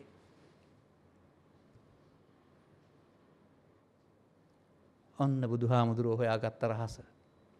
ඒතන් මම ඒතෝ අහං අස්මින් ඒසෝ මේ අත්තා. මගේ මගේ නොවන මම නොවන මගේ ආත්ම නොවන දේවල් අපි මගේ සහ මම සහ මගේ ආත්මකොට ගන්න. කොහොමද මේක වෙන්නේ? ඇසට රූපයක් හම්බ වෙනවා. එතකොට රූපය කෙරෙහි අපි යම්කිසි ඇලීමක් ඇති කරගත්තොත් අල්ලගන්නවා අපි. තැන පෙන්වන්නම් ඕනනම් මෙච්චර එක ධර්ම දේශනාවකදී මේක එච්චර කියන්නේ නෑ මම හැබැයි. පටිච්චසම්පාද න්‍යායෙන් මේක වෙන හැටි පෙන්වන්න පුළුවන්. ඇසට රූපය හමු වෙනවා. ආලෝකයේ උදව්වෙන්. ඉදිරියේ තියෙන රූපේ ඡායාව ඇස තුළ වැටෙනවා. මේ හමුවීමේදී පළවෙනිම පහළ වෙන චෛතසිකය කියනවා පස්ස. එළියේ ඉන්න විට හිරු එළියේ චර්මයට හිරු එළිය වැටුවොත් පළවෙනිම ස්පර්ශ වෙලා තමයි රත් වෙනවා දැනෙන්නේ වේදනාව හටගන්නේ. අන්න ඒ වගේ ඇහැටත් එහෙමයි කනටත් එහෙමයි නාසයටත් එහෙමයි. අරමුණු ස්පර්ශ වුණාම පළවෙනින් හට ගන්නවා වේදනාව. වේදනාව කියන්නේ රිදෙනවා නෙමෙයි සැප හෝ දුක් හෝ උපේක්ෂා වේදනාව. ඒ අරමුණට ඇලුනොත් වේදනා පච්චා තණ්හා. අන්න තණ්හාව රූප තණ්හා, ශබ්ද තණ්හා, ගන්ධ තණ්හා. අන්නේ තණ්හාව තමයි මම කියන්නේ. මම වුණොත් මගේ වෙනවා, මගේ වුණොත් මගේ ආත්ම වෙනවා. තණ්හා පච්චා උපාදාන. තණ්හා වුණා නම් ගැලවෙන්න බැරි විදිහට තදින් අල්ලා ගන්නවා. අන්න පංච උපාදානස්කන්ධය බවට පත් වෙන හැටි. උපාදාන පච්චා භව. උපාදා වුණොත් නැවත උපදින්න හේතු ඉතුරු වෙනවා. අන්න ඒ නිසා නැවත උපදිනවා. තණ්හා උපාදාන භව අවිද්‍යා සංකාරා. අරමුණෙන් අරමුණට මේ අරමුණේ මුලාවීම තුළ තණ්හා උපාදාන භව වෙනවට තමයි මගේ මම මගේ ආත්ම කොට ගන්නවායි කියන්නේ. මඤ්ඤමාන සූත්‍රයෙන් අරන් බලන්න මඤ්ඤමානෝකෝ බික්කු බද්දෝ මාරස්සා මඤ්ඤමානෝ මුත්තෝ පාපිමතෝ නෙමෙයිද? මේ පංචස්කන්ධයට දේ මගේ කොට ගැනීමෙන් මායයට බැඳේ. මගේ කොට නොගැනීමෙන් මායයාගෙන් මිදේ. මගේ කොට ගැනීම පෘථග්ජනයාගේ ප්‍රතිපදාවයි මගේ කොට නොගැනීම බුදුහාමුදුරන්ගේ එලි කිරීමයි. අරමුණට තණ්හා වුණා නම් තණ්හාව තමයි මම කියන්නේ. මම වුණා නම් මගේ වෙනවා මගේ වුණා මගේ ආත්ම වෙනවා ඒකට කියනවා නිත්‍ය සුඛ ආත්ම කියලා. පංචස්කන්ධයට එන දේ මගේ මම මගේ ආත්ම කොට අන්න එකට තමයි ත්‍රිපිටකයේ නිත්‍ය සුඛ ආත්ම කියලා පෙන්වලා තියෙන්නේ. එතකොට එහෙනම් ඉස්කෝලේ ගිහින් අනිච්චන් දුක්ඛං අනාත්තා ඉගෙන ගත්තට අරමුණට මුල් වෙන හැම දිනාගේම දර්ශනය මොකද්ද? ඒතං මම ඊතු හමස්මෙන් ඒසෝ මේ අත්තා. අන්න ඒකයි මම කියන්නේ. ඔබ පවත් පැවැත් මේ හොඳ පැත්ත තෝරා ගත්ත අය අරුණාම නැවැත්ම ගැන දන්නේ නැහැ. ඒතං මම ඒතු හමස්මින් ඒසෝ මේ අත්තා. ඒ මගේ ඒ මම ඒ මගේ ආත්ම. දැන් මෙහෙම ගත්තාම මොකද වෙන්නේ? අපි ඒක තේරුම් ගන්න වෙනවා. පව් ඉතුරු වෙන්නේ මම මගේ ආත්මයට තේදී. පින් ඉතුරු වෙන්නේ මම මගේ ආත්මයට තේදී. ධාන ඉතුරු වෙන්නේ මම මගේ ආත්මයට තේදී. ඊළඟ භවයක් සඳහා හේතු ඉතුරු වෙන්නේ මගේ මම මගේ ආත්මකට ගැනීමෙන්. ඒකයි මායයට බැඳේ කියලා කියන්නේ. එහෙනම් ඒක කර්ම රැස්වීම නෙවෙයිද? දැන් බුදුහාමුදුරුව අදාළේ කම්මක්ඛයා සංවත්තති නේද? කර්මක්ෂය කිරීමේ මාර්ගයක් නේද? අපි මේ කර්ම රැස් කිරීමේ මාර්ගය නේද ඉන්නේ? ගම්බද විවහාරේ ලස්සන වචනයක් තියෙනවා. කැලේ මාරු වුණාට කොටියගේ පුල්ලි මාරු වෙන්නේ නැහැ කියලා. උපතින්ම මේ ಜಾති අන්දකම අපි හදා ගන්නවා ඒතන් මම ඒතොමස්මෙන් ඒසෝ මේ අත්තා. අල්ලා ගන්නවා මගේ මවක මගේ. ඒක අපි දන්නේ නැහැ. දැන් පව අල්ලන් ඉන්නවා. උන් අම්මා තාත්තා හරි ගුරු හරි කියන පව කරන්න එපා පායන්න සිද්ධ වෙනවා. පව් අතෑරි අපිනට ආවා. පව නැමැති කැලේ තිබිච්ච පුල්ලිය තමයි මම. හැබැයි කොටියා මේකට ආවා. හැබැයි පුල්ලිය මෙහාට ආවා. පව මාරු වුණා දැන් පින. හැබැයි පිනේදි පින මම. අල්ලා ගන්නවා. පින් කරන්න පින් කරපුවාම යන්න පුළුවන් දිව්‍ය ලෝකේ විතරයි බ්‍රහ්ම ලෝකේ යන්න අපි ධානය වඩන්න ඕන. ධාන වලට ගියා. දැන් ධානය මම. තේරෙනවද? පවේදී පව ඒතන් මම ඒතු හමස්මින් ඒසෝ මේ අත්තා හේවත් නිත්සුකාත්මයි. පින අල්ලාගත්තොත් පින කරන්න එපා නෙමෙයි මෙතන පෙන්වන්නේ. පින අල්ලාගත්තොත් පින නිසා මගේ මම මගේ ආත්ම. එතකොට පින් සිද්ධ වෙනවා. හේතු උපදිනවා. ඒකත් අවිද්‍යාපච්චා සංඛාරා. පව් සිද්ධ වීමත් අවිද්‍යාපච්චා සංඛාරා, පින් සිද්ධ වීමත් අවිද්‍යාපච්චා සංඛාරා. ධානය කුසල් සිදු වෙන්නේ ධාන අල්ලාගත්තාම ධානය කොටිපොල්ලි එතෙන්ට එනවා. ධානය මගේ මම මගේ ආත්ම. එතකොට ආයත් අවිද්‍යාපච්චා සංඛාරා. අවිද්‍යාපච්චා සංඛාරා කුසලයේ කියලා කොහේ උගන්ලා තිනවද ත්‍රිපිටකේ? නෑ අවිද්‍යාපච්චා සංඛාරා අවසානයේ ජරා මරණ. එනම් කාමරූප අරූප බවත්‍රය රැස් සකස් වී පවතින්නේ ඒතන් මම ඒතු හමස්මින් ඒසෝ මේ අත්තානංගු මිත්‍යා දෘෂ්ටිය තුළ. සත්වයා බුදු හාමුදුරුව හමු වෙලා ධර්මයේ තේරට තාක්කල් මේ පව්පින් ධාන ඔස්සේ සසර ඇවිදිනු ඇරුණාම උන්ට ගැලවීමක් නැහැ. ඒකයි පැවැත්ම කියලා කියන්නේ. දාන සීල භාවනා අයිති වෙන්නේ නැවැත්මට නෙමෙයි මේ පැවැත්ම හොඳ එකට. නැවැත්නේ මග දන්නේ නැති නිසා තමයි අපට අත්තමුත්ත නත්තපනත්ත අපේ ස්වාමින් වහන්සේලා විකල්ප මාර්ගයක් වශයෙන් අර පැවැත්මේ නරකක වෙනුවට නැවැත් පැවැත්මේ හොඳ ඒක උගන්ලා තියෙන්නේ. අනාගත බුදුහාමුදුරන්ගේ ශාසනයටවත් ගිහින් නිවන් දකින්න. හැබැයි ධර්මයේ දකින්න පුළුවන් නම් පැවැත්ම නෙමේ බුදුවරුන්ගේ දේශනේ නැවැත්ම. කම්මක්ඛයෝ දුක්ඛක්ඛයා කියලා නෙවෙයිද තියෙන්නේ? අපි යලු මරා තැනට යමු ආයෙත්. වක්කලිට කතා කරපු තැන. වක්කලිගෙන් අහන්නේ මගේ නොවන මම නොවන මගේ ආත්ම නොවන දේවල් මගේ සහ මම සහ මගේ ආත්ම වශයෙන් ගැනීම සුදුසුද නැත ස්වාමීනි. වක්කලි උත්තර දෙනවා. මොනවද එතකොට මේ මගේ නොවන මම නොවන මගේ ආත්ම නොවන දේවල්? රූපයට, ශබ්දයට, ගන්ධයට, රසයට, ස්පර්ශයට ඕනෑම දෙයක්. ලෝභ දේශ මොහ ඕනෑම දෙයක්. සංඛාර, සබ්බේ සංඛාරා ඒවා. ඒව තමයි අපි මගේ නොවන දේවල් ඒවා. නමුත් අපි අල්ලගත්තාම මගේ සහ මම සහ මගේ ආත්ම වෙනවා. ඒ නිසා අප අල්ලගත් ඒවට අනුව විඳවන්න වෙනවා අපිට. දැන් ඔබට තේරෙනවද සත්‍යය මේ දුක් විඳින්නේ බුදුහාමුදුරන්ගේ ධර්මයට එරෙහි යාම නිසා කියලා. පස්සෙන් පස්සටනේ යන්නේ. උද්දන් සරණං ගච්ඡාමි කියලා යන්නේ පස්සෙන් පස්සට. මොකද්ද දැන් ආපහු කරන්න ඕනද එහෙමනම්? ඊළඟට වදාරනවා. තස්මාතිහ වක්කලි. එබැවින් වක්කලිය. අතීත අනාගත පච්චුප්පන්න දුරේ සන්තිකේ හිනෝපනීතේ සුකුමෝලාරිකෝ කියලා එකොළ හත් තියෙනවා. සියලු රූප දැන් රූපය කියන්නේ ශරීරය නම් සියලු රූප කියලා 11 දේශනා කරන්න ඕන දායි. පට ව්‍යාපෝ තේජෝ වාහිතර පංචස්කන්ධේ රූප නම් ආ 11ක් දේශනා කරන්න ඕන නෑනේ. නමුත් අතීත රූප අනාගත රූප වර්තමාන රූප. සියුම් රූප ඝන රූප, දුර රූප ළඟ රූප. ඇතුළත රූප බාහිර රූප. මොනවද මේ? ඇසට කනට නාසයට හම්බ වෙන රූප නෙවෙයිද මේ? සියුම් ළඟ දුර අසෙන් ගන්න අපි. රූප රූප, ශබ්ද රූප, ගන්ධ රූප, රස රූප, පොට්ටබ්බ රූප, ධම්ම රූප. ඒ රූපෙට එන ඕනෑම දෙයක්. නේතං මම නේතෝ හමස්මින් නමේසෝ අත්තාති සම්මප්පඤ්ඤාය දට්ඨබ්බං මෙන්න ධර්මය. වක්කලිට දේශනා කර. නේතං මම මගේ නොවේයි. නේතෝ අහං අස්මින් මම නොවෙයි. නමේසෝ අත්තා මගේ ආත්මය නොවෙයි. මේකට තමයි අනිත්‍ය දුක්ඛානාත්ම කියන්නේ. ඒතං මම ඒතු හමස්මින් ඒසෝ මේ අත්තා නේතං මම නේතු හමස්මින් නමේසෝ අත්තා කියන දෙකට අපේ අයට ගලපගන්න බැරි වුණා අනිත්‍ය දුක්ඛ අනාත්ම සහ නිත්සුකාත්ම කියන්නේ මේ දෙක කියලා. අපට අනිත් දුක්ඛ අනාත්ම වෙනයි ඒතං මම ඒතු හමස්මින් ඒසෝ මේ අත්තා වෙනයි. ත්‍රිපිටකයේ මනවින් තියෙන දේ මම මේ කියන්නේ. වක්කලිට වදාරනවා එහෙනම් පංචස්කන්ධයට ඕනෑම දෙයක් මගේ නොවන මම නොවන මගේ ආත්ම නොවසයෙන් දැකීම ධර්මයේ දකින බුදුන් දකින පිළිවෙතයි. ඒ කියන්නේ පංචස්කන්ධය අනිත් දුක්ඛ අනාත්ම වශයෙන් බලන්න කියන එක නේද? එන දේ අල්ලගන්න නැත්නම් අනිත්‍ය. අල්ලගන්න නැත්නම් දුක්ඛ අල්ලගන්න නැත්නම් අනාත්ම. අල්ලගත්තොත් නিত্য සුඛ ආත්ම. අල්ලගත්තොත් මගේ මම මගේ ආත්ම කර්ම රැස් වෙනවා. අල්ලගත්තේ නැත්නම් අනිත් දුක්ඛ අනාත්මේදී කර්ම රැස් නොවි ඉවර වෙනවා. ඒ කර්ම රැස් නොවි ඉවර වෙන එකට කියනවා කර්මක්ෂය කිරීමේ ප්‍රතිපදාව කියලා. අන්න ධර්මය. රැස් කරගත්ත කර්ම රැස්ුනේ මම මගේ මගේ ආත්ම කියන්නාව මිත්‍යා දෘෂ්ටිය තුළ ළමා කාලින් අදක්වාම අපි රැස් කරගත්ත කර්ම තියෙනවා. තරහ එනවා, වෛරය එනවා, පලිගණ්ඩ හිතෙනවා, ලෝභ දේශම උපදිනවා කියන්නේ තියපුවා. මම මගේ කොට ගත්ත හේතුවෙන් ඉතුරු වෙච්ච අනුසය. තවදුරටත් මම මගේ කොට ගන්නේ නම් එන්න එන්න ලෝභ දේශම වැඩෙනු ඇරුණාම අතහැරීමක් සිදු වෙන්නේ දැන් ලෝභයේදී ලෝභය මම දේශයේදී දේශේ මම ඊර්ෂ්‍යාවදී ඊර්ෂ්‍යාවදී මම ඕනෑම දෙයක් අල්ලගත්තාම මම හැදෙනවා. මම නම් මම මගේ වෙනවා. මගේ නම් මම මගේ නම් මගේ ආත්ම. අතහැරීම මගේ මම මගේ ආත්ම ඇරුණාම වෙන දෙයක් නෙමෙයි. ඒකයි අතහරින්න ඕන. ශුන්‍ය ලෝක සූත්‍රය මෙන්න මෙහෙමයි තියෙන්නේ. ශුන්‍ය ලෝකෝති ශුන්‍ය ලෝකිත බන්තේ උච්චති කිත්තාවතානකෝ බන්තේ ශුන්‍ය ලෝකෝති උච්චති. ස්වාමිනී ලෝකේ ශූන්‍යයි ශූන්‍යයි කියලා කියනවා කොපමණද ලෝකේ ශූන්‍ය වෙන්නේ? ශූන්‍යයි කියන්නේ සීරෝ හෝ බිඳුවයි කියන එක නෙවෙයි මතක තියාගන්න. ලෝකය කියන්නේ බාහිර වස්තුත් නෙමේ. බුදුහාමුදුරුවෝ අදාරනවා යස්මාකෝ ආනන්ද.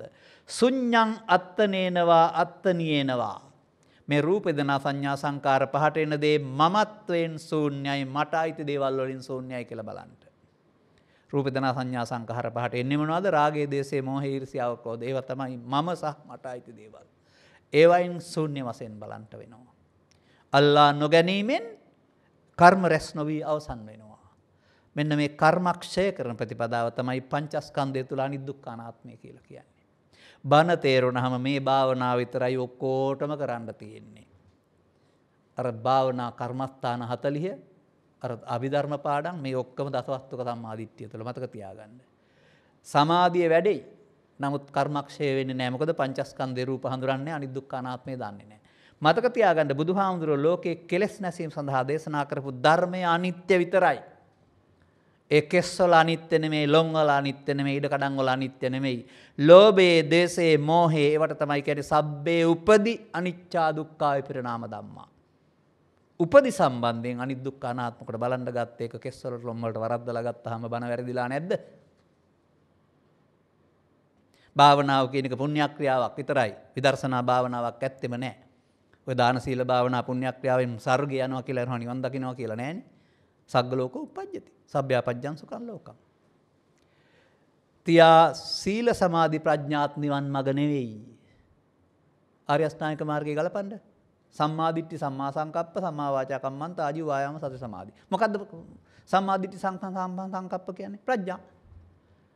එහෙනම් ප්‍රඥාවෙන් පස්සේ තමයි වාචා කම්මන්ත ආජීව සීල. ඊට පස්සේ තමයි සමාධි. පිහිටි ආකාරයෙන් මාර්ය අෂ්ටාංගික මාර්ගයේ ප්‍රඥා සීල සමාධි. ඉස්කෝල පොතයි බණ පොතයි හැමතැනම සීල සමාධි ප්‍රඥා උගන්වනවා. කවුද මේ සම්මාදිට්ඨිය ගලවලා අනිත් පැත්තට හයි කරුවේ? කාටවත් අයිතියක් තියෙනවද එහෙම කරන්න? මේක ආර්ය සම්මාදිට්ඨිය මතක තියාගන්න. ඔය කතා කරන්නේ දසවස්තුක සම්මාදිට්ඨිය. මහා චත්තාරිසක සූත්‍රයේ තියෙනවා සම්මාදිට්ඨිය ආකාර දෙක. සම්මාදිට්ඨියක් දෙකක්, සම්මා සංකප්පයක් දෙකක්, සම්මා වාචාවක් දෙකක්, සම්මා කම්මතක් දෙකක්, සම්මා ආජීවක් දෙකක්. අනාර්යයට එකක් ආර්යයට තව එකක්.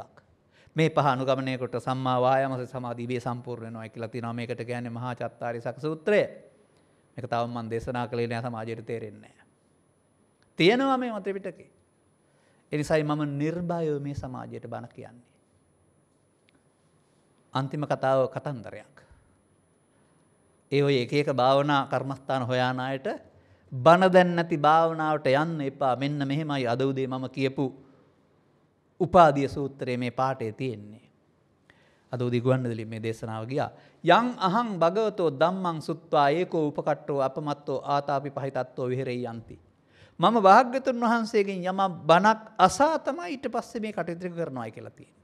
ඒකෝ උපකට්ටෝ අපමත්තෝ ආතාපි පහිතත්තෝ කියන වතුලින් පෙන්වන්නේ යෝගාවචරයක් කරන්න ඕන කටයුතු ටික. හැබැයි බණ අසා මේ ස්කන්ධ පංචකයාගේ අනිදුක්ඛානාත්මයේ තේරෙනතුරු බණ අහපුවාම ඊට පස්සේ අනිදුක්ඛානාත් වශයෙන් බලන්න ඕනේ. එතකොට තමයි කර්මක්ෂය වෙන්නේ. ඒ තමා තැහැරීම. මේකට හොඳම කතාවක් තියෙනවා. මෙන්න මෙතන.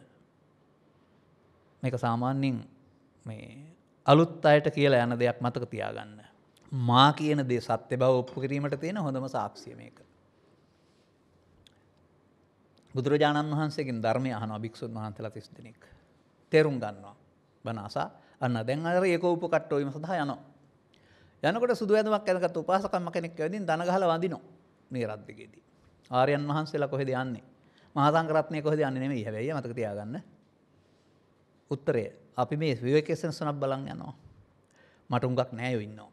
මගේ ගම්වල ඉහත්ත ගොඩක් ඉඩ තියෙනවා. ඔබ වහන්සේලා කොහොත් වඩින්න ඕනේ නැහැ. මගේ ඥාතීන්ට කියලා මම ඔබ වහන්සේලාට දිවා රාත්‍රී විවේක ස්ථාන සකස් කරලා දෙන්නම්.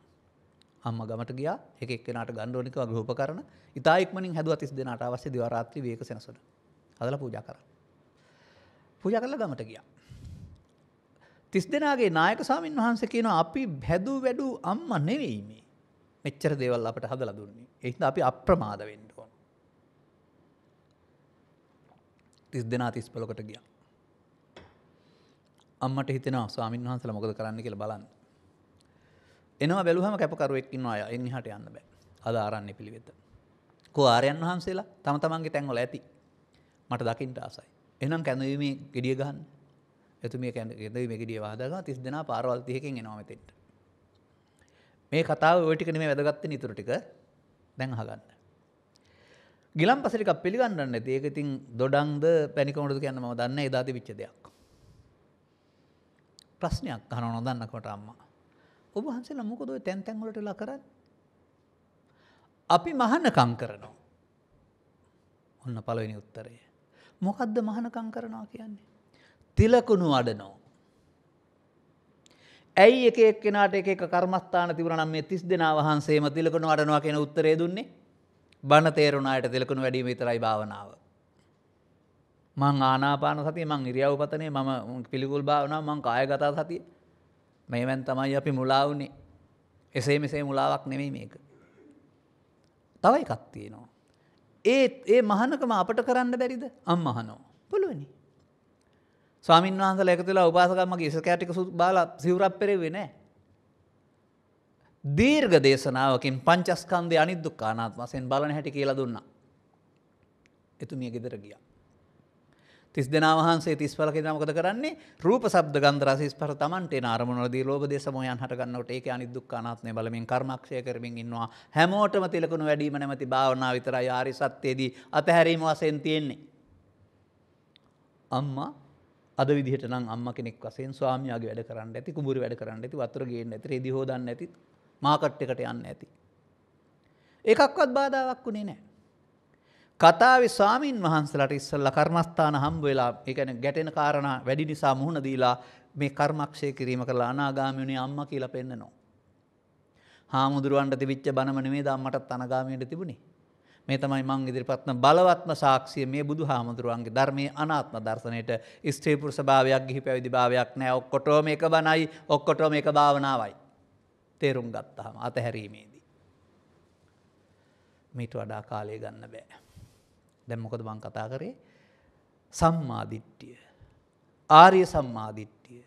රූප දෙනා සංඥා සංකාර විඥානික ස්කන්ධ පංචකයේ අනිදුක්ඛ අනාත්මය ආර්ය සම්මාදිට්ඨියයි. ධර්මයට පැහැදෙනවා.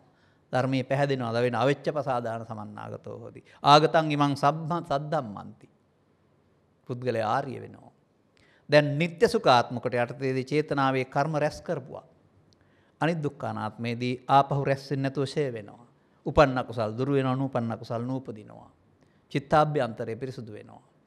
පුනර්භවයට හේතු ලැබෙන්නේ මේ පින් පව් හේතු වශයෙන් ඉතුරු කරන කාරණ අවිද්‍යාපච්චා සංකාර. තණ්හානුසය කියලා කියනවා. තණ්හානුසය හිස් කිරීම භාවනාවේ ප්‍රතිඵලයයි. තණ්හානුසය නැත්තම් නත්ති ඉදානි පුනබ්බවෝ අයං අන්තිමා ජාති නත්ති ඉදානි පුනබ්බවෝ. අන්න අතහැරීම මම මගේ කොට ගැනීමෙන් හේතු ඉතුරු වෙන එක මම මගේකොට නොගැනීමෙන් හේතු ඉතුරුයි නතර වෙන්න ගන්නවා. ඒකයි අනිදුක්ඛානාත් වශයෙන් බලනකොට කර්මක්ෂ වෙනවා කියන්නේ. අනිත්‍ය කියන්නේ ස්ථිර නෑ නෙමේ, දුක්ඛ කියන්නේ දුකයි නෙමේ, ආනාත්ම කියන්නේ ආත්මයක් නෑ නෙමේ. පංචස්කන්ධයට එන දේ මගේ නම් මම නම් මගේ ආත්ම නම් ඒකට කියනවා නিত্য සුඛාත්ම.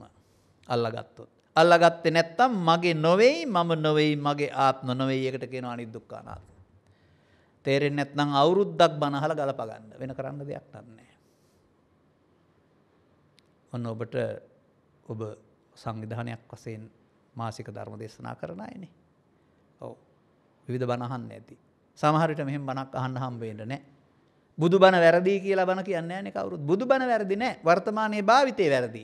සම්පූර්ණයෙන් පංචස්කන්ධේ වැරදි, අනිත් දුක්ඛනාත්මේ වැරදි. එබැවින් කිසිවෙකුට අතහැරීමක් නැහැ. ඔක්කොම ඉන්නේ අතහැරීම මාර්ගයේ නෙමෙයි. අර අර පැවැත්මේ ඉන්නේ. පැවැත්නේ හොඳ එකේ ඉන්නේ. අතහරින්ට ඕනම් පංචස්කන්ධය අනිදුක්ඛ අනාත්ම වශයෙන් බැලීම හැර ත්‍රිපිටකයේ වෙන දහමක් නැහැ කාටවත්. ධර්මයේ දකීද බුදුන් දකී.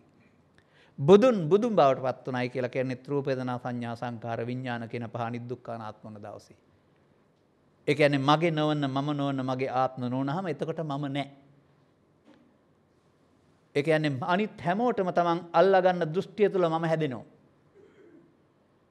මමත්වේ නැත්තේ බුදුන් රහතුන්ට විතර අනිත් ඔක්කොම ලෝභයේ, ද්වේෂයේ, මෝහයේ, ඊර්ෂ්‍යාවේ, උගත්කමේ, දුප්පත්කමේ, පොහසත්කමේ සරණින් මමක් හදා ගන්නවා. ඒකට කියනවා සක්කාය දිට්ඨි. මේ රූප දනා සංඥා සංකාර පහටයි සක්කාය කියන්නේ. ඒකට දේ අල්ල ගන්නවට තමයි දිට්ඨි කියලා කියන්නේ.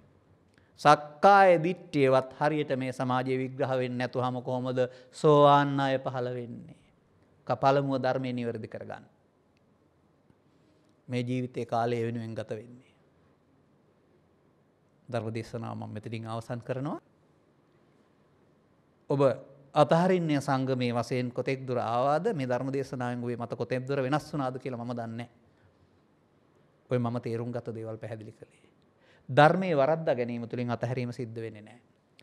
අන්තිමට ධම්මං සරණං ගච්ඡාමි කියන එකේ තේරුම සියලු සංස්කාරයන් අනිදුක්ඛ අනාත්ම යන බුද්ධ වචනයයි සසර දුකින් මිදීමට සංස්කාරයන් අනිත්‍ය වශයෙන් බැලීම හැර වෙන සරණක් නැත ධම්මං සරණං ගච්ඡාමි. ඔන්න අර්ථය.